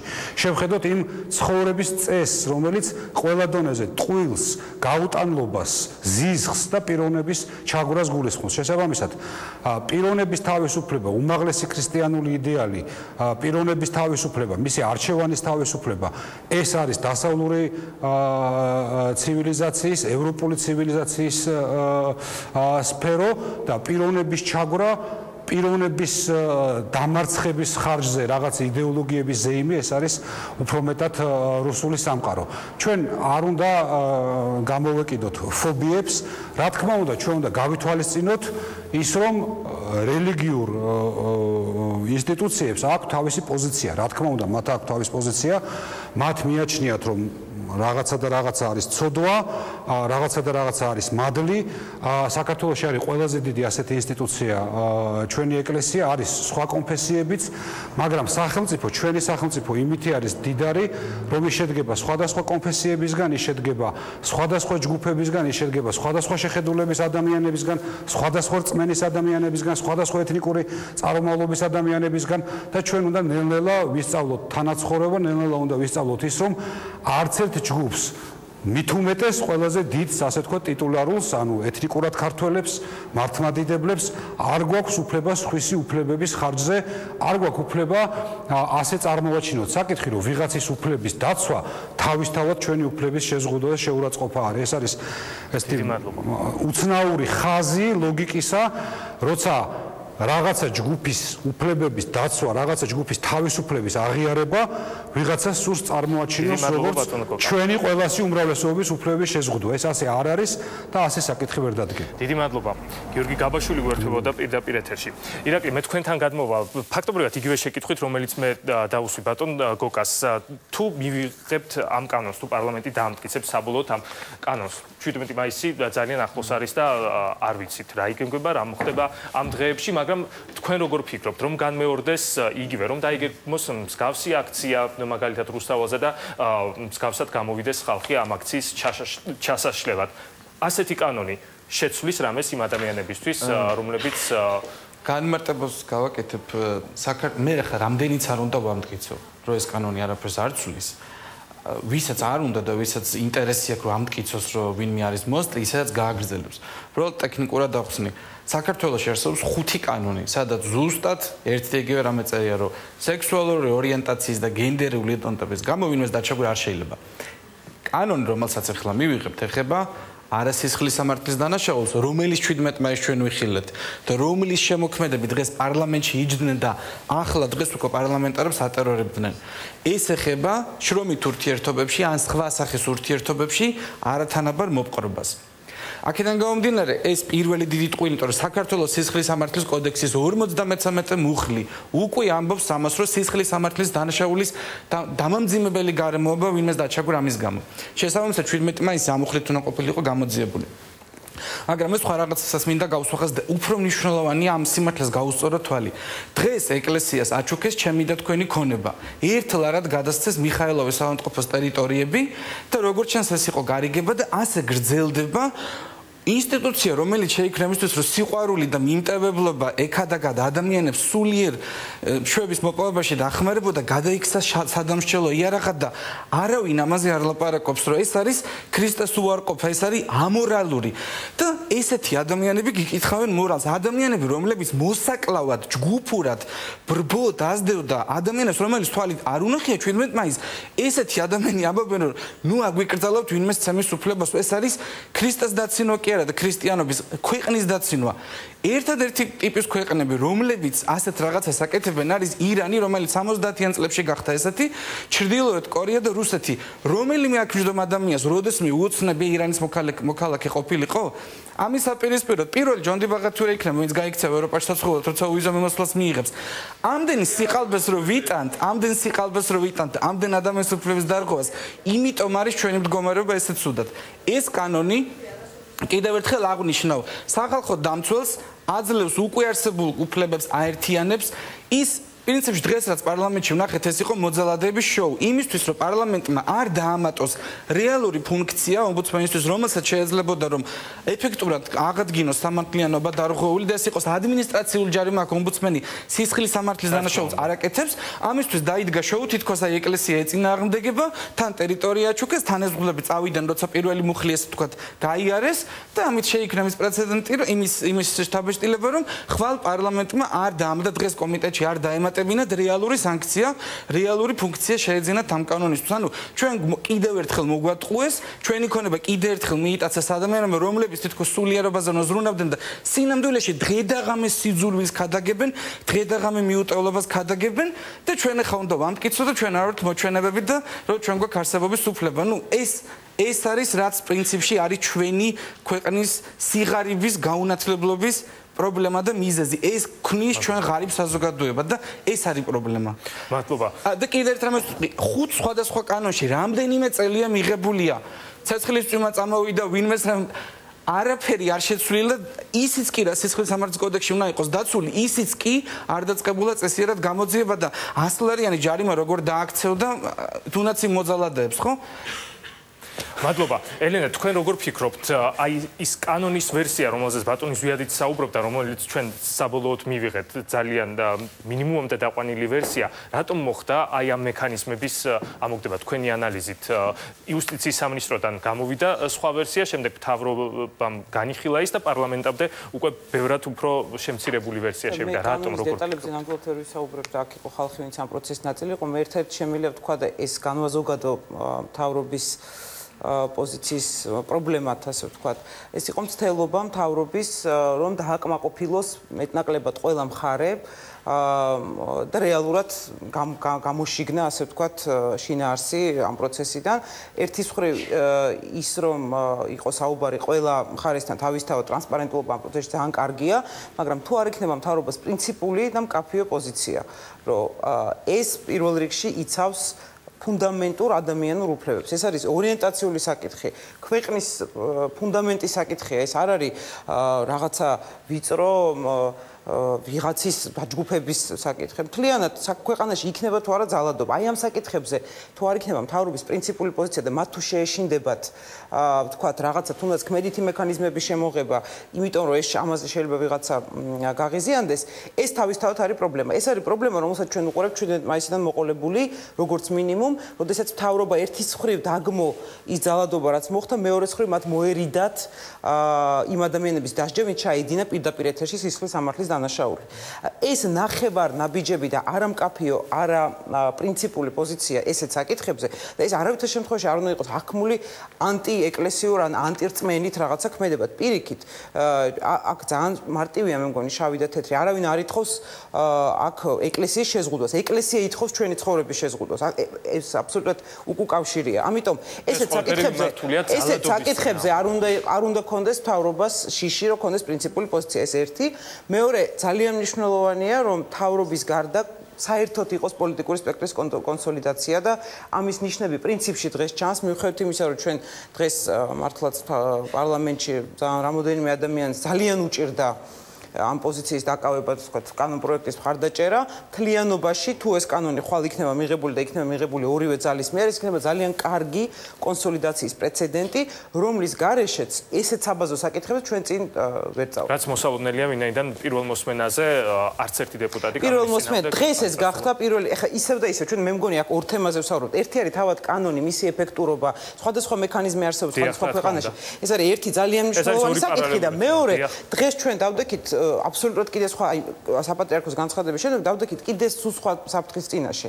ამიტომ ამ ორი საკითხის აღრევა ალბათ რთული იქნება, ამიტომ დღევანდელ სიტუაციაში ამ კანონის მიღებამ შეიძინა ქვეყნის განვითარების ფუნდამენტური, ასე ვთქვათ, მნიშვნელობა და ამიტომ არის დღეს კიდევ უფრო მნიშვნელოვანი, რომ თავრობას და ოპოზიციას იყოს ძალიან კონსოლიდირებული ამ საკითხში. თათა თქვენ როგორ ფიქრობთ ამაზე ჩვენ უკვე ვისაუბრეთ, რომ პრინციპში კონსტიტუციაშიც უკვე წერია, რომ დისკრიმინაცია ადამიანების ნებისმიერი ნიშნით არის დაუშვებელი და სხვა კანონებშიც არის ამაზე საუბარი. მაშინ რატომ გამოიწვია კონკრეტულად ამ კანონმა ასეთი ხმაური, როგორ ფიქრობთ?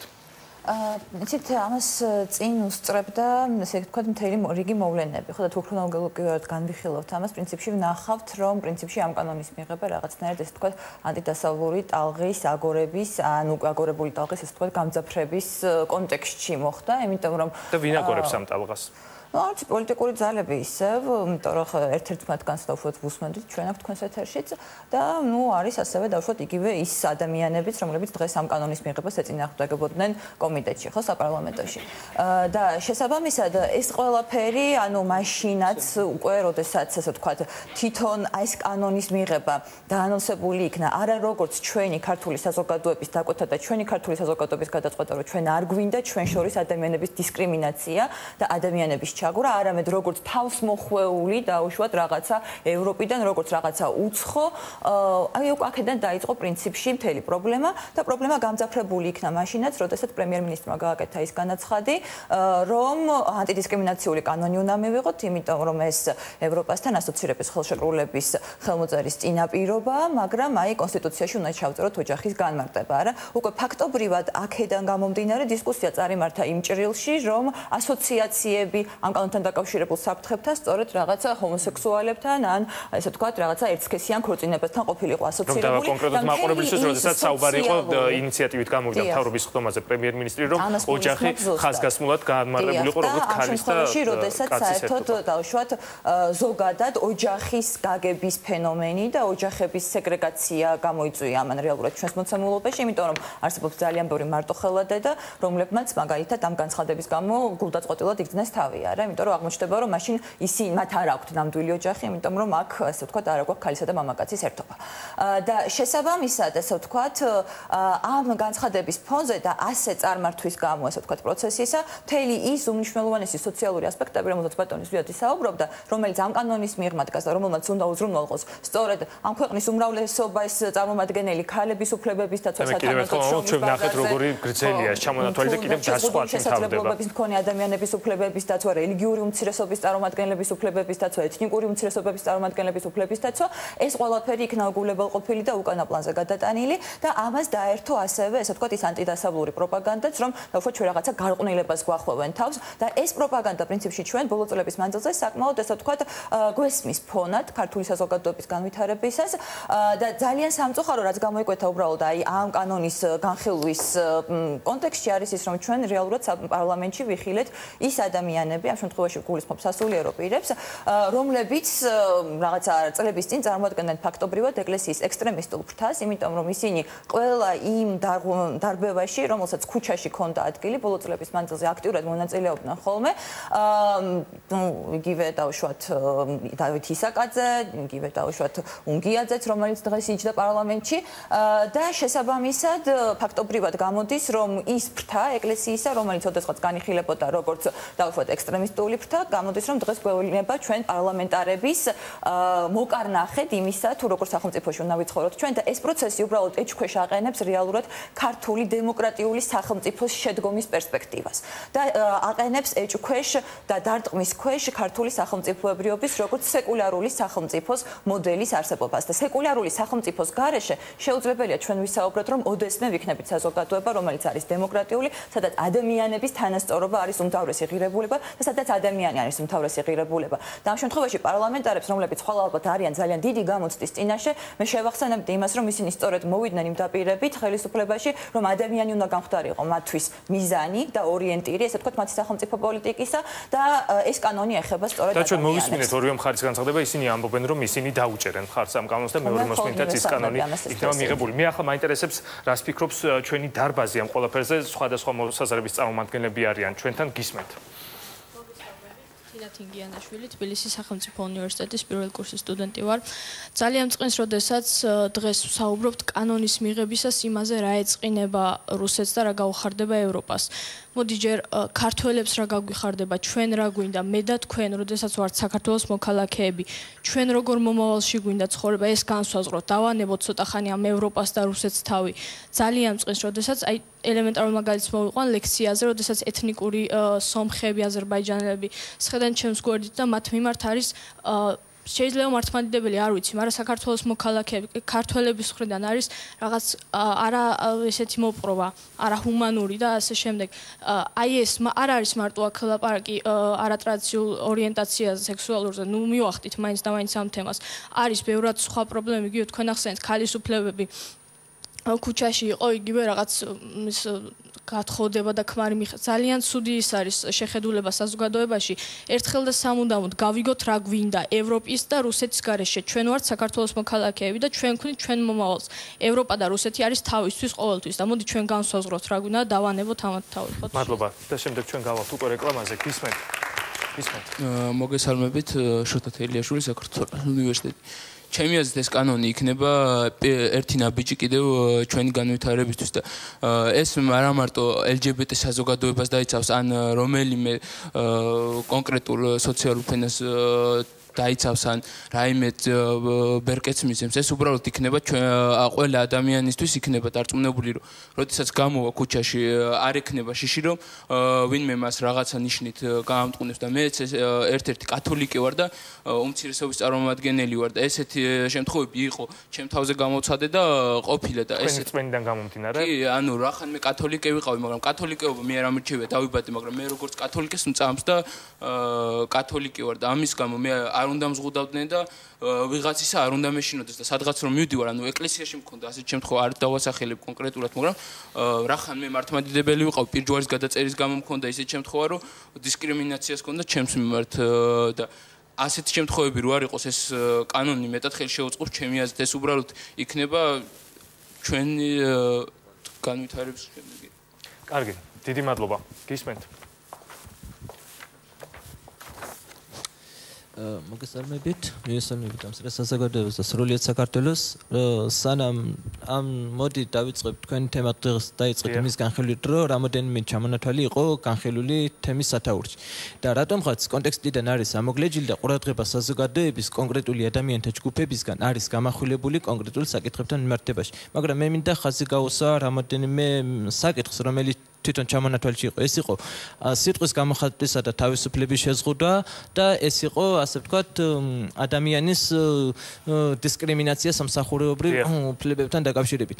ჩვენ არ დაგვავიწყდეს თუნდაც გასული წლების განმავლობაში ყოველთვის საუბრობს შეიძლება ძალიან ხშირად ვიყენებ ამ ტერმინს რომ არ უნდა გავიხსენოთ წარსული უნდა ვიცხოვროთ მომავლით მაგრამ წარსულის გახსენება არ ნიშნავს ვიცხოვროთ წარსული წარსულში უნდა გავიხსენოთ ის რა შეცდომები იქნა დაშვებული და რა რეალობის წინაშე ვიყავით. აქედან გამომდინარე უნდა ვისაუბროთ ვისაუბროთ აწყოზე და შემდეგ მივიღებთ მომავალს. ანუ წარსულში არ არსებობდა ეს კანონ პროექტი, რომელიც დაარეგულირებდა თუნდაც იმ სიტუაციას, რომ განსხვავებული პოლიტიკური შეხედულების ადამიანი შეიძლებოდა ყოფილიყო სამსახურში. განსხვავებული სიტყვის თქმელი ადამიანი შეიძლებოდა გამარჯვება ეთქვა ადამიანისთვის და ეს ადამიანი მეორე სამსახურიდან მოიხსნა. ეს ხდებოდა ყველაფერი იმიტომ, რომ არ არსებობდა შესაბამისი კანონ პროექტი, რომელიც ამ ყველაფერს დაარეგულირებდა. ამასი დღეს არავინ არ საუბრობს და ბოლოს მე მინდა ბატონ ირაკლის ასე ვთქვათ ბოლო იმას ნაწილს გამოვეხმაურ. ჩემთვის პირადად ბატონ ირაკლის ნათქვამი და გამონათქვამი არის პირდაპირ შეურაცხმყოფელი როგორც მართლმადიდებელი ადამიანის მიმართ. როდესაც ის ეკლესიის წინამძღოლებს, ასე ვთქვათ, ეკლესიის მოსამსახურე ადამიანს უწოდებს ისეთ ადამიანებს, რომელიც თესავენ სიძულვილს, რომელიც ერთმანეთში აღვივებენ შუღლს და ასე შემდეგ და ასე შემდეგ. ჩვენ არ უნდა დაგვავიწყდეს ეკლესიის წინამძღოლების როლი ქართულ საზოგადოებაში არაერთი. თუნდაც იმ ძიმე პერიოდში მე არ მინდა ახლა ცოტა თემის გადახვევა შეიძლება მომივიდეს მაგრამ 8 აგვისტოს პერიოდში ეკლესიის წინამძღოლები იყვნენ როდესაც იქიდან დაჭრილები გამოყავდა და ემსახურებოდნენ ქვეყნის საჯარაჯოზე იყვნენ. მე მინდა ასევე არ არ დაავიწყდეს ქართულ საზოგადოებას ის მომენტი ის პერიოდი 2009 წლის 6 მაისი როდესაც ქართულმა პოლიციამ სახელმწიფო ინსტიტუტმა ქართულ მოსახლეობას სასაკლაო მოუწყო და ეკლესიის წინამძღოლები ქართულ საზოგადოებას შორის ჩადგა და ერთმანეთს აშველებდა და ერთმანეთს არიგებდა.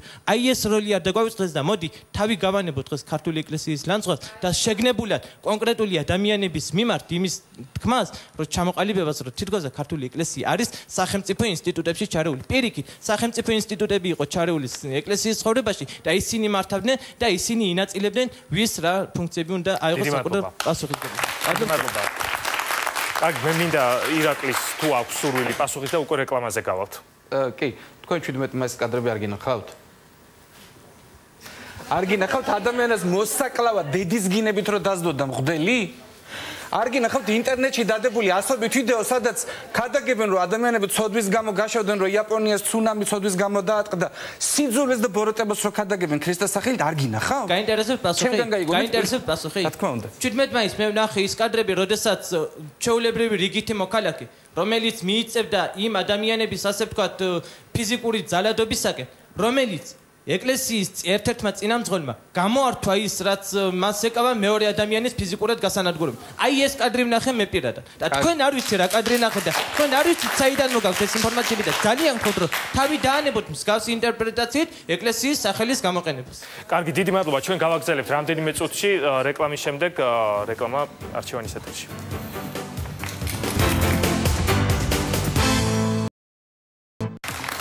ჩვენ ვრუნდებით არჩევანის სტუდიაში ვსაუბრობთ ანტიდისკრიმინაციულ კანონპროექტზე, რომელსაც პარლამენტი განიხილავს და ჩვენ მოვისმინეთ პირველ ბლოკში დეპუტატებისგან, რომ ისინი აპირებენ ხვალ ეს კანონპროექტი უკვე მეორე მოსმენით დაამტკიცონ. ვრუნდები მე დარბას, რას ფიქრობს საზოგადოება ამ კანონპროექტის შესახებ და იმ პროცესების შესახებ, რომელიც მოყვა ამ კანონპროექტის განხილვას გისმენთ. მოგესალმებით. პირველ რიგში მინდა ყურადღება გავამახვილო ბატონი ჯონდის გამოსვლაზე. რომლის გამოსვლაც სად სულ სხვანაირი ინტერპრეტაცია მიეცა რატომღაც დარბაზის მხრიდან. თითქოს ის მოუწოდებდა რაღაც აგრესიისკენ.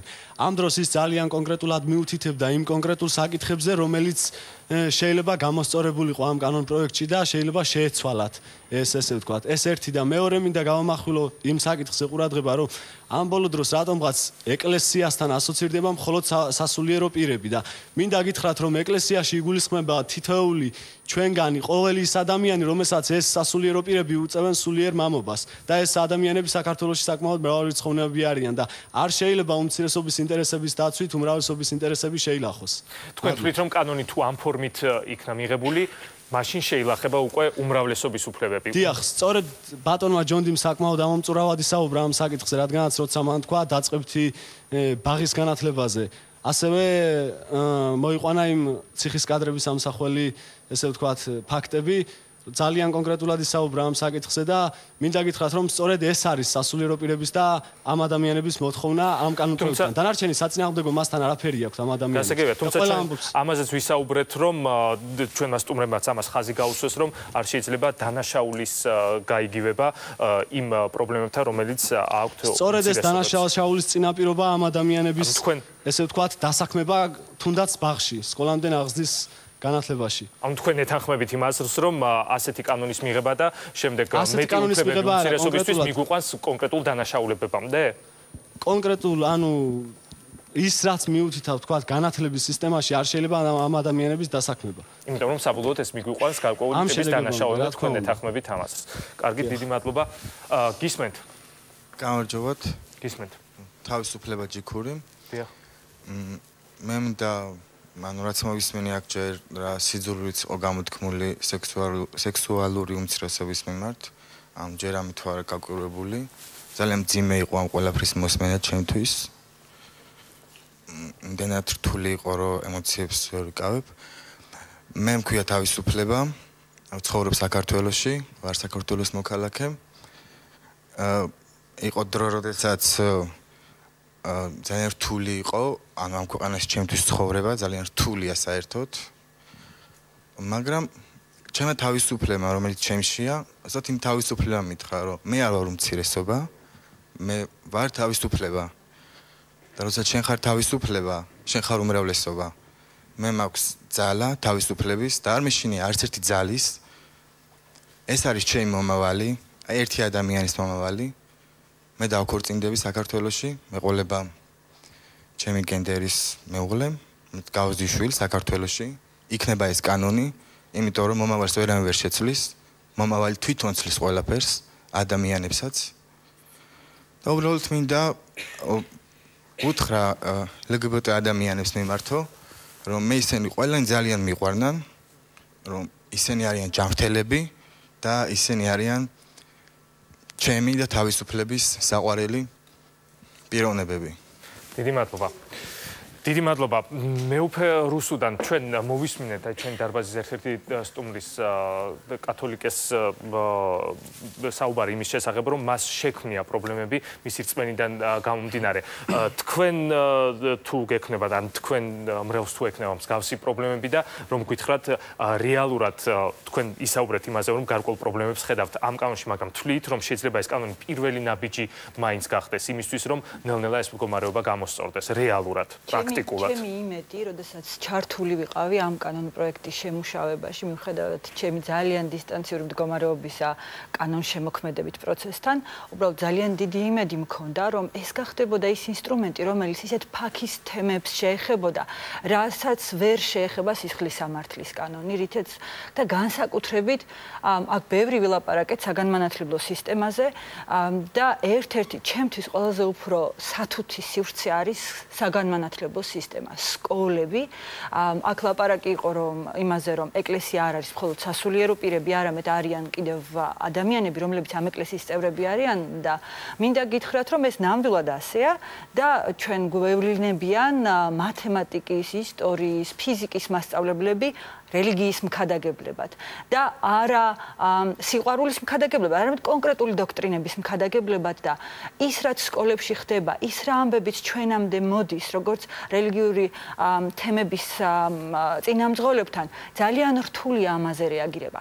ეს რომ ჩემი შვილის ამ შემთხვევაში მოხდეს, მე მაქვს იმისი თავისუფლება, რომ გავბედო და ვილაპარაკო ამაზე, მაგრამ სამწუხაროდ მე სხვისა მშობლის ნაცვლად ამ გადაწყვეტილებას ვერ მიმიღებ და მშობლების უმრავლესობას ურჩევნია ხმა არ ამოიღოს, იმიტომ რომ რომ ამოიღებს ხმას რაც რა რაც უნდა ჩარიოს, არ ვიცი რა რა ყველაზე უზენაესი, რა ქვია, ძალა ჩარიოს, ყველა გამოვიხურავთ მე სკოლის კარებს და ბავშვი რჩება კლასში თავის კლასელებთან, იგივე მასწავლებლებთან, იგივე კორიდორში უნდა გავიდეს და ის ძალადობა თუ არ გაძლიერდება და ამ ბავშვის რა ქვია, კიდევ თითის გაშვერა ამ ბავშვის მიმართ თუ არ გაძლიერდება, ეს არ შესუსტდება. ასე რომ ჩემის ჩემი რაღაცა მოწადინება და იმედი ის იყო რომ ამ ამ კანონში არის ჩართული სწორედ ცნობიერების ის ამაღლების აქცენტები არის ამაზე გაკეთებული და იმედი მაქვს რომ ეს მარტო ამ კანონზე არ არის დამოკიდებული და ასეც უნდა იყოს მქონდა რომ ეს ასე ამას მიეხმარებოდა. როდესაც ლაპარაკია უმრავლესობა უმცირესობის უფლებებზე უბრალოდ შეუძლებელი ხა ამას არ გამოვეხმაურებ, იმიტომ რომ ეს სულ სულ სულ ამაზე მიდის ლაპარაკი. როგორც კი იტყვი რომ იცი რა აქ მუსლიმი ლოცვა უნდა და აქ ჩემი უფლება ირღვევა როგორც ქრისტიანის. ეხლა ამაზე ახლა ჩვენი დარბაზის წევრებით საუბრობდნენ რომ შეიძლება უმცირესობის უფლებების დაცვა გაიგივდეს უკვე უმრავლესობის უფლებების დაცვა. ჩვენს რეალობაში მინდა მინდა მართლა ვაღიარო რომ თუ კი ვილაპარაკებთ უმცირესობების უფლებების დაცვაზე მართლა შეიზღუდება უმრავლესობის უფლება და იცით რატომ? რომ ამ ჩვენს რეალობაში უმრავლესობის უფლებაში მოისაზრება ძალადობა, იგნორირება, დისკრიმინაცია და დისკრედიტაცია. ეს ყველაფერი უნდა ეს ის ყველაფერი შეიზღუდება. და შესაბამისად, უმრავლესობის წარმომადგენლები თვლიან, რომ მათი ეს უფლებები იზღუდება. მათ ვეღარ ისინი იოლად ვეღარ მოყვებიან ანეკდოტებს სომხებზე. ისინი ვეღარ დაუძახებენ ერთმანეთს იეღოველებს. ისინი ვერ არ არ მასწავლებელი ვეღარ მოხვევს ერთბაშად კლასს ხელს, თუნდაც ძალიან კეთილი მოტივით და სულ ყოველას მოსანათლად არ წაიყვანს. ან ან ღვთისმსახურებაზე არ, ან მამაო ჩვენოს არ ათქმევინებს. ჩემთვის როგორც ქრისტიანი ღვთისმსახურისათვის არის აბსოლუტურად მიუღებელი, როდესაც მამაო ჩვენოს თქმა იქცა სადამსჯელო აქტად. და ამისი ამისი მოწმეები გავხდი ძალიან ხშირად, როდესაც მიადგება მაგალითად პოლიციელს მიადგა და შენ თუ ახლა კაი კაცი ხარ, უნდა მამაო ჩვენო თქმა რომ დაგვიმტკიცო შენ რამდენად ერთგული ხარ ამის თუ იმის თუ. და ის რაც ყველაზე ფაქიზია, ის რაც ყველაზე ძვირფასია რელიგიისათვის, ამ ყველაფრის აბსოლუტურად გაუყმართებული ფორმით ხდება, ამისი აფიშირება, ამისი დეკლარირება და ალბათ ყველაზე პირველი, გინდა 17 მაისს, გინდა ჭელაში, გინდა სამთაწყაროში, თუ კი რამე დაითრგუნა, ეს იყო ქრისტიანი. და ჩემთვის როგორც ქრისტიანი ღვთისმსახურისათვის ეს არის ძალიან მტკივნეული. უმრავლესობის უფლებები შეიზღუდება, იმიტომ რომ უმრავლესობა ვერ ხვდება, რას ნიშნავს უფლება. უმრავლესობის უფლება. იმიტომ რომ შეიზღუდება მათი უფლება იყვნენ დამცინავები, იყვნენ მოძალადეები და იყვნენ სხვების დისკრიმინაციის წყარო. დიდი მადლობა. მე სხვა სტუმრებისგანაც მაინტერესებს ამ თემაზე სწორედ კომენტარი. შეიძლება თუ არა ჩვენ დავდგეთ იმ რეალობის წინაშე, როდესაც უმცირესობისთვის მეტი უფლების მინიჭება შეიძლება საზოგადოების თითმა ნაწილმა აღიქვას მისთვის, ანუ უმრავლესობისთვის უფლებების შეზღუდვა და ამან კონფლიქტამდეც კი მიგვიყვანოს, რაზეც საუბრობენ ეს ადამიანები, რომ შეიძლება ძალიან დიდი დაპირისპირების მოწმეც კი გავხდეთ ქვეყანაში თათა. ამ კანონის განმარტებით ბარათში, ხო რომელიც თან ახლდა მას, როდესაც შევიდა პარლამენტში, ცალსახად არის ნათქვამი ის, რომ ეს კანონი არ გულისხმობს რაიმე ახალი უფლებების მინიჭებას ადამიანებისთვის, ის რაც არ იყო გათვალისწინებული დაუშვათ კონსტიტუციით. პრობლემა ჩვენს რეალობაში არის ის, რომ უბრალოდ რეალურად სხვა საკანონმდებლო აქტებით განსაზღვრული უფლებების და დადგენილი უფლებების იმპლემენტაცია და მათი რეალიზება ვერ ხერხდება ამ საზოგადოებაში, ხო? იმიტომ რომ აღმსარებლობის თავისუფლებაც ასე ქაღალდის დონეზე და კანონის დონეზე თითქოს არსებობს ჩვენს ქვეყანაში, მაგრამ ნუ რეალურად დაუშვათ ასე აიგივე პროზელიტიზმის სკოლებში თუ დაუშვათ სხვა დაწესებულებებში და სხვა სახეზე. ხო, როდესაც ადამიანის დაუშვათ და ეს რწმენის თავისუფლება ნუ შებრალულია და ნუ ქალბატონ მარუსტანმა ახსენა პრინციპში ეს მაგალითები აღარ დაკონკრეტები ამ მიმართულებით. რეალურად ჩვენ საზოგადოებაში სწორედ იმიტომ დგას აი ეს დისკრიმინაციის პრობლემა, რომ რომ ერთი ეს შეიძლება დავაბრალოთ დავშოთ აი ამ საბჭოთა წარსულს, როდესაც ჩვენ ძალიან მიჩვეულებები ვიყავთ ადამიანების სეგრეგაციას და ამ კუთხით, ესე ვთქვათ, საზოგადოების განხილვას, მაგრამ მეორეს მხრივ ეს არის უშუალოდ კავშირში ჩვენ საზოგადოებაში არსებულ დაბალ სამოქალაქო ცნობიერებასთან და ამისი ძალიან კარგი მაგალითია ის, რომ ჩვენ საზოგადოებაში სოლიდარობა როგორც ესეთი არ აქვს, იმიტომ რომ ვის მიმართ ხარ სოლიდარული, ხო? ის ვინც შენს მსგავსად მიგაჩნია და რეალურად თითოეული ჩვენი საზოგადოების წევრს, თითოეულ ქართველს მიაჩნია თავის მსგავსად ძალიან მცირე წრე, ეს არის უშუალოდ მისი სანაცნობო სამეგობრო სანათესაო და არა სხვა. ამიტომ სოლიდარობის განცდა ჩვენ საზოგადოებაში არის ძალიან დაბალი. და ასევე, ესე ვთქვათ, რას ნიშნავს ეს კანონის წინაშე თანასწორობა და დისკრიმინაციის აღმოფხვრა? ხო, ეს ნიშნავს იმას, რომ მე როგორც ინდივიდმა და როგორც უმრავლესობის წევრმა ამ ქვეყანაში, რომელიც აღმსარებლობის ნიშნით, ეთნიკური ნიშნით თუ სექსუალური ორიენტაციის ნიშნით განეკუთვნება სწორედ უმრავლესობას, ის უფლებები, რომელსაც მივაწერ ჩემ თავს, უნდა მოვიაზრო ასევე ამ საზოგადოების წევრი ყველა ადამიანის მიმართაც. განურჩევლად, ასე ვთქვათ, იმ ნიშნებისა, რომლითაც ისინი შეიძლება იყვნენ უმცირესობის წევრი. ეს არის სწორედ, ასე ვთქვათ, ის მრავალფეროვნება, რომელზეც არის დამყარებული დემოკრატიული საზოგადოება. და ამ შემთხვევაში ჩვენ ისე ვდგებით იმ დილემის წინაშე, რა გვინდა ჩვენ, გვინდა ჩვენ თავისუფალ საზოგადოებაში ცხოვრება, სადაც ჩემი თავისუფლებით მე არ ზღუდავ არც სხვის თავისუფლებას და არც სხვა ზღუდავს თავის თავისუფლებით ჩემ თავისუფლებას, თუ გვინდა ჩვენ ვიყოთ, ასე ვთქვათ, მასობრივი კოლექტივისტური ცნობიერების ტერორის ქვეშ, რისი გამოცდილებაც გვაქვს 70 წლის მანძილზე. და მე ძალიან მეეჭვება რომ რომელიმეს თუნდაც ამ დარბაზში მშდომს ეს უნდოდეს. იმიტომ რომ არც ერთი თქვენგანი არ მიდის ემიგრაციაში ჩრდილოეთ კორეაში. ან არ ოცნებობს ამაზე. არც ერთი თქვენგანი არ ოცნებობს ირანში ემიგრაციაზე და იქ ცხოვრებაზე ხო? ყოველას გვინდა ჩვენ სწორედ ეს თავისუფლება და თავისუფლებას აქვს ეს ზღვარი.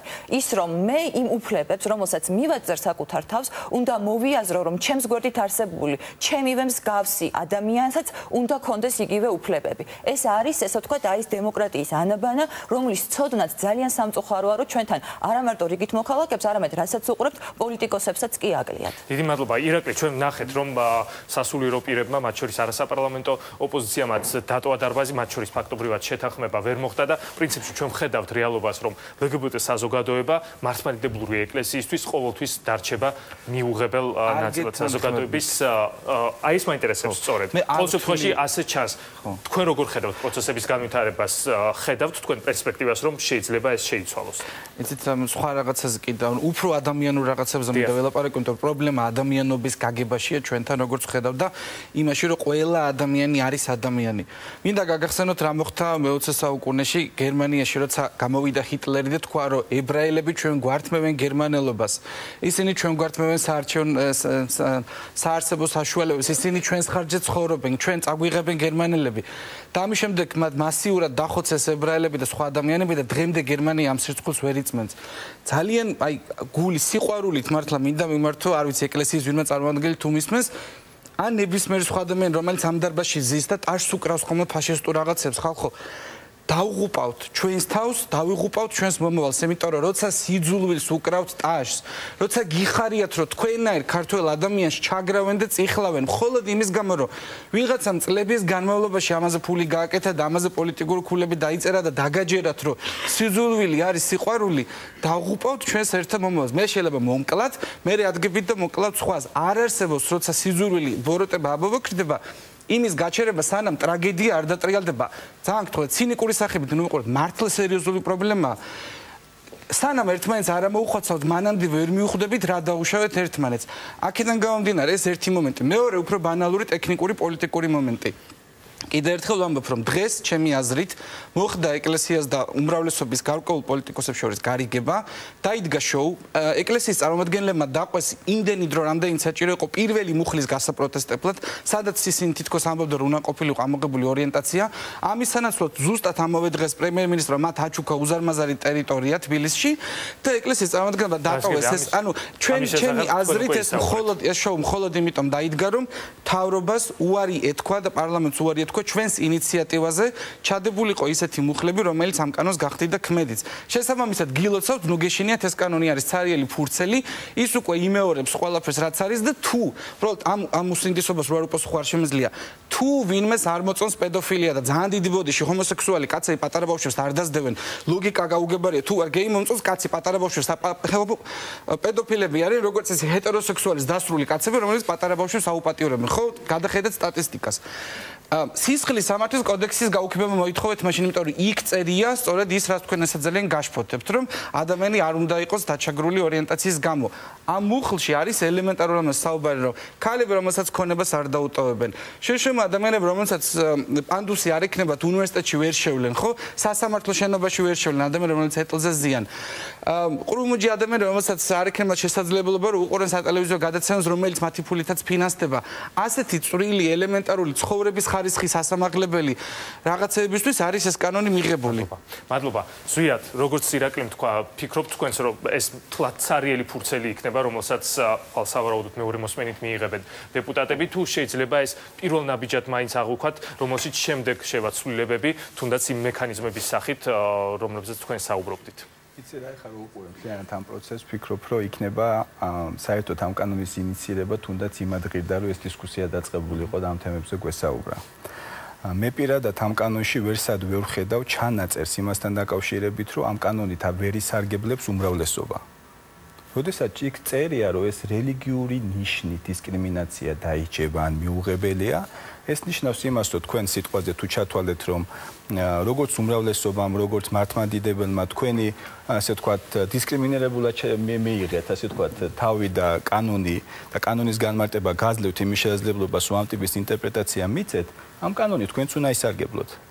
და უნდა ისარგებლოს ყველამ იმიტომ რომ იქ წერია რომ ეს კანონი არის საქართველოს მოქალაქეებისთვის რომლებიც რომელთა დისკრიმინაცია ისეხება ყველას. აი მე გეტყვით მაგალითად, ჩემი ცხოვრების რაღაც ეტაპზე მქონდა ვაკანსიაზე წარდგენილი განცხადება საერთაშორისო ორგანიზაციაში, სადაც გავიარე ყველა ეტაპი და საბოლოოდ არ ამიყვანეს და სიმართლე გითხრათ, იმ მომენტში მე გამისდა იმის შეგზნება, რომ მე მომექცნენ ესე იმიტომ, რომ ვიყავი საქართველოს მოქალაქე.